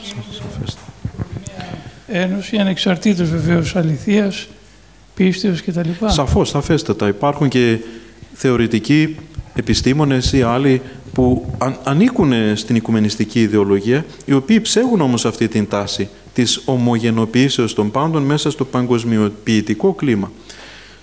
Αν διαβάσει κανείς σοβαρές μελέτες, άρθρα κτλ. θα το δει αυτό. Κάποιοι έντιμοι από αυτούς που δεν υπηρετούν σκοπιμότητα, καταθέτουν πάρα πολύ σοβαρές απόψεις που είναι ακριβώς αυτό το μήκος κύματος, ότι δυστυχώς παρασυρθήκαμε. Και είναι τόσο ισχυρή, τόσο ισχυρή η δυναμική της παγκοσμιοποίησεως που δεν μπορείς να κάνεις πίσω. Θα πρέπει να πας και να περι, περιθωριοποιηθείς, να πας ξέρω, με τους Ρώσους ή με τους άλλους τους, ε, που ανήκουν σε έναν άλλο συνασπισμό τώρα και να χωρίσεις από το στρατόπεδο στο οποίο όπως λένε όλοι ανήκουμε, το δυτικό, αμερικανικό στρατόπεδο. Γι' αυτό και αν παρακολουθείτε, τις, όσοι παρακολουθούν, τα δημοσιεύματα που γίνονται τώρα υπέρ του κοινού Πασχαλίου,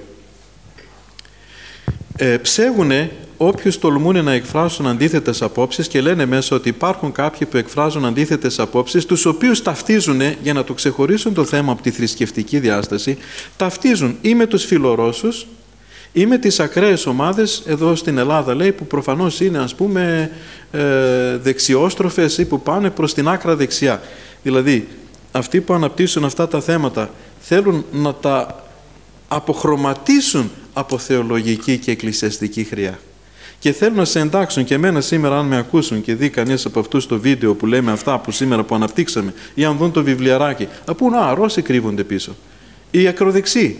Αλλά εγώ ούτε ακροδεξιός είμαι, ούτε φιλορώσος. Φιλορώσος με την έννοια δηλαδή που θέλουν να σε εντάξουν αυτοί. Γι' αυτό και προέβλεψα στο τέλος κάποια πραγματάκια.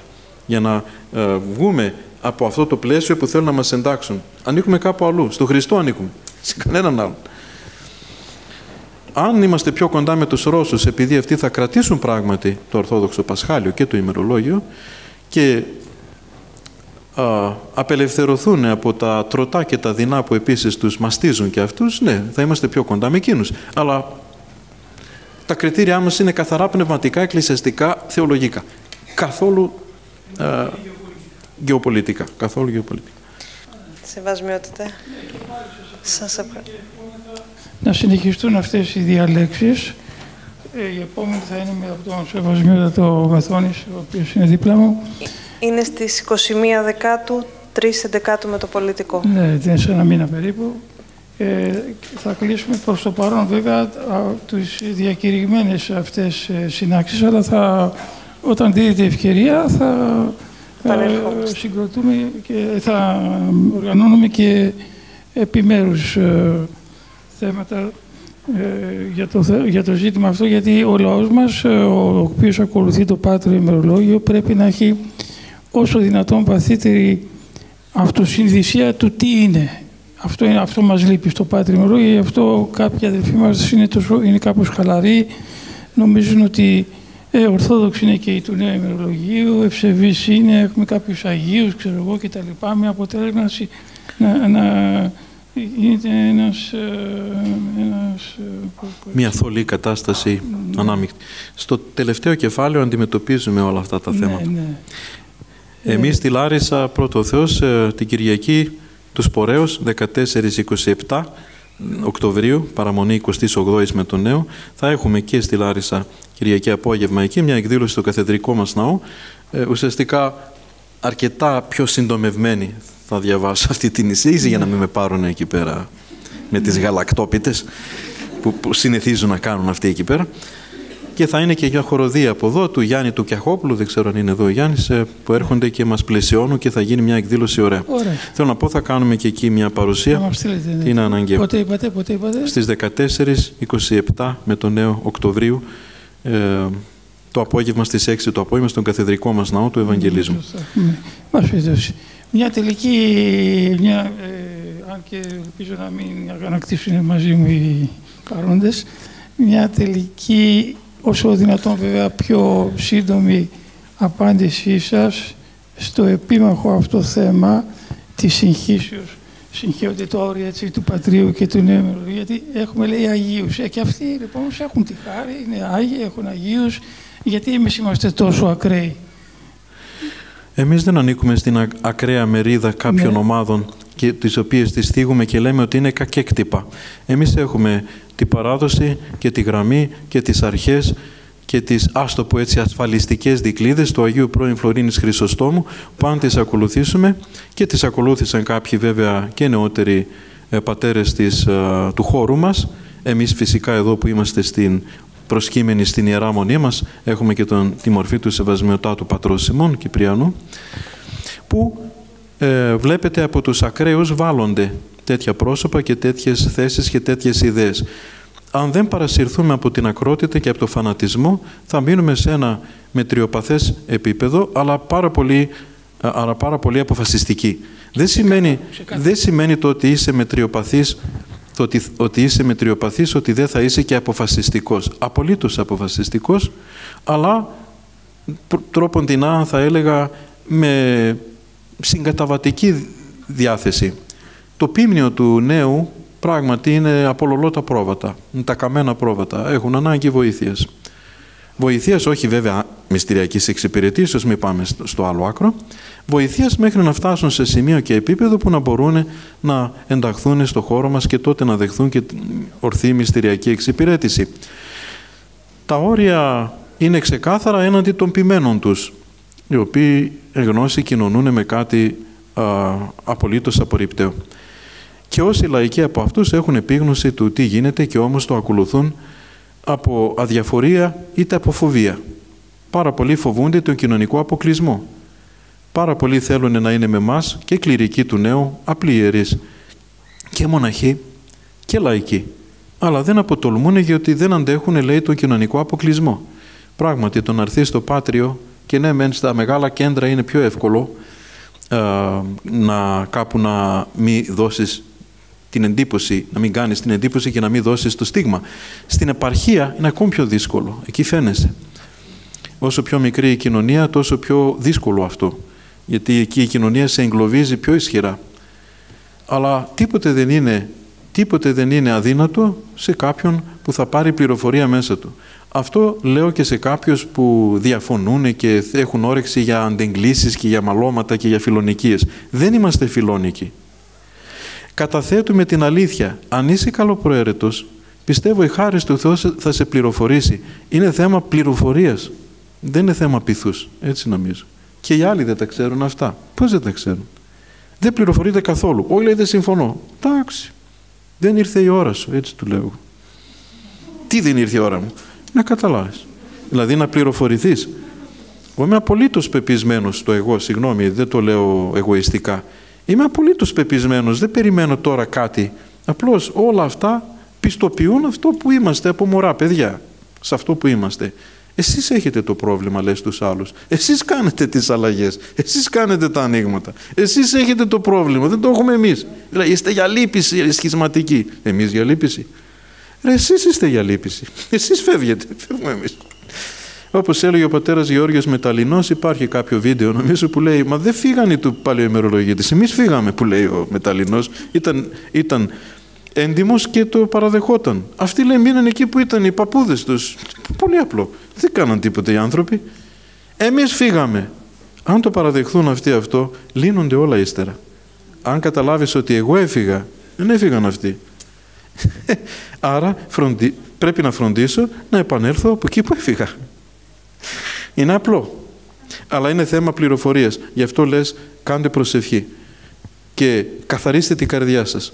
Και ζήστε πνευματική ζωή. Το πρόβλημα είναι βέβαια άλλο. Εμείς δεν είμαστε αυτοί που πρέπει να είμαστε για να προσελκύσουμε τους πιστούς που του νέου που περιμένουν και από εμά κάτι το ιδιαίτερο για να τους ελκύσουμε. Αν είχαν κάποιες μορφές γερόντων και αυτά, εντάξει, ο Θεός θα τους άφηνε απαρηγόρητους, έστειλε και εκεί μέσα κάποιος για την κρίζα ζώνη, έτσι το λέω. Μήπως τη μαρτυρία των γερόντων τους τη δέχονται οι σημερινοί, μα επειδή δεν τη δέχονται και την καταπατούν, γι' αυτό φεύγουν όλο και περισσότερο. Όλοι εκείνοι οι γέροντες που εμφανίστηκαν στο νέο και έχουν κάποιο όνομα, ήταν κανείς από αυτούς οικουμενιστής; Ήταν κα, κανείς από αυτούς υπέρ των καινοτομιών, υπέρ του Μεταξάκη, υπέρ του, είναι υπέρ του Βαρθολομαίου, αν είναι δυνατόν. Είναι υπέρ του νέου Πασχαλίου. Μην τρελαθούμε. Λίγο και αυτούς τους γέροντες που έχουν για σπουδαίους, αυτούς να κοιτάξουν και να ακούσουν, θα, θα τα συμμαζέψουν. θα καταλάβουν ότι δεν είναι καλά. Είναι απλό το θέμα. Μην, μην το βάζουμε σαν παγίδα και πολλοί από εμάς δυστυχώς παίρνουν τα άκρα και λένε πρέπει να βγάλουμε οπωσδήποτε τους νοημερολογίτε γέροντες ή που ήταν σε κοινωνία μαζί τους ότι δεν ήταν εντάξει, δεν ήταν άγιοι για να δικαιωθούμε εμείς. Δεν απειλούμαστε από αυτό. Α το καταλάβουμε. Άλλοι είναι οι κίνδυνοι. Οι κίνδυνοι είμαι εγώ και εσείς, αν δεν είμαστε αυτοί που πρέπει να είμαστε, αυτό που περιμένει ο Θεός να είμαστε. Τι μας αφορά τώρα, τι είπε ο τάδε γέροντας που ήταν στο τάδε ησυχαστήριο για τους τάδε δικούς του; Προσπαθούσε να τους βγάλει από το αδιέξοδό τους. Εμείς τι κάνουμε που μας έδειξε ο Θεός πολλά, μας έδωσε μάλλον όλα, μας τα έδωσε όλα. Εμείς τι κάνουμε. Και μας έδειξε και υποδείγματα και παραδείγματα και Αγίους και απ' όλα. Τι τηρούμε εμείς. Μόνο λόγια δεν είμαστε και είμαστε ένα σωρό, πώς να το πω, ασυνέπειες. Και ύστερα έχουμε παράπονα και από τους άλλους και λέμε γιατί το ένα και το άλλο. Ας τακτοποιηθούμε εμείς Ας ζήσουμε εν Χριστώ εμείς, ενωμένοι με τον Χριστό, εν πνεύματι Αγίο και όλα λύνονται γύρω μας. Είναι πολύ απλό. Πάρα πολύ απλό. Εν τούτης εμείς θα καταθέσουμε φυσικά και τη μαρτυρία μας. Σας ευχαριστούμε.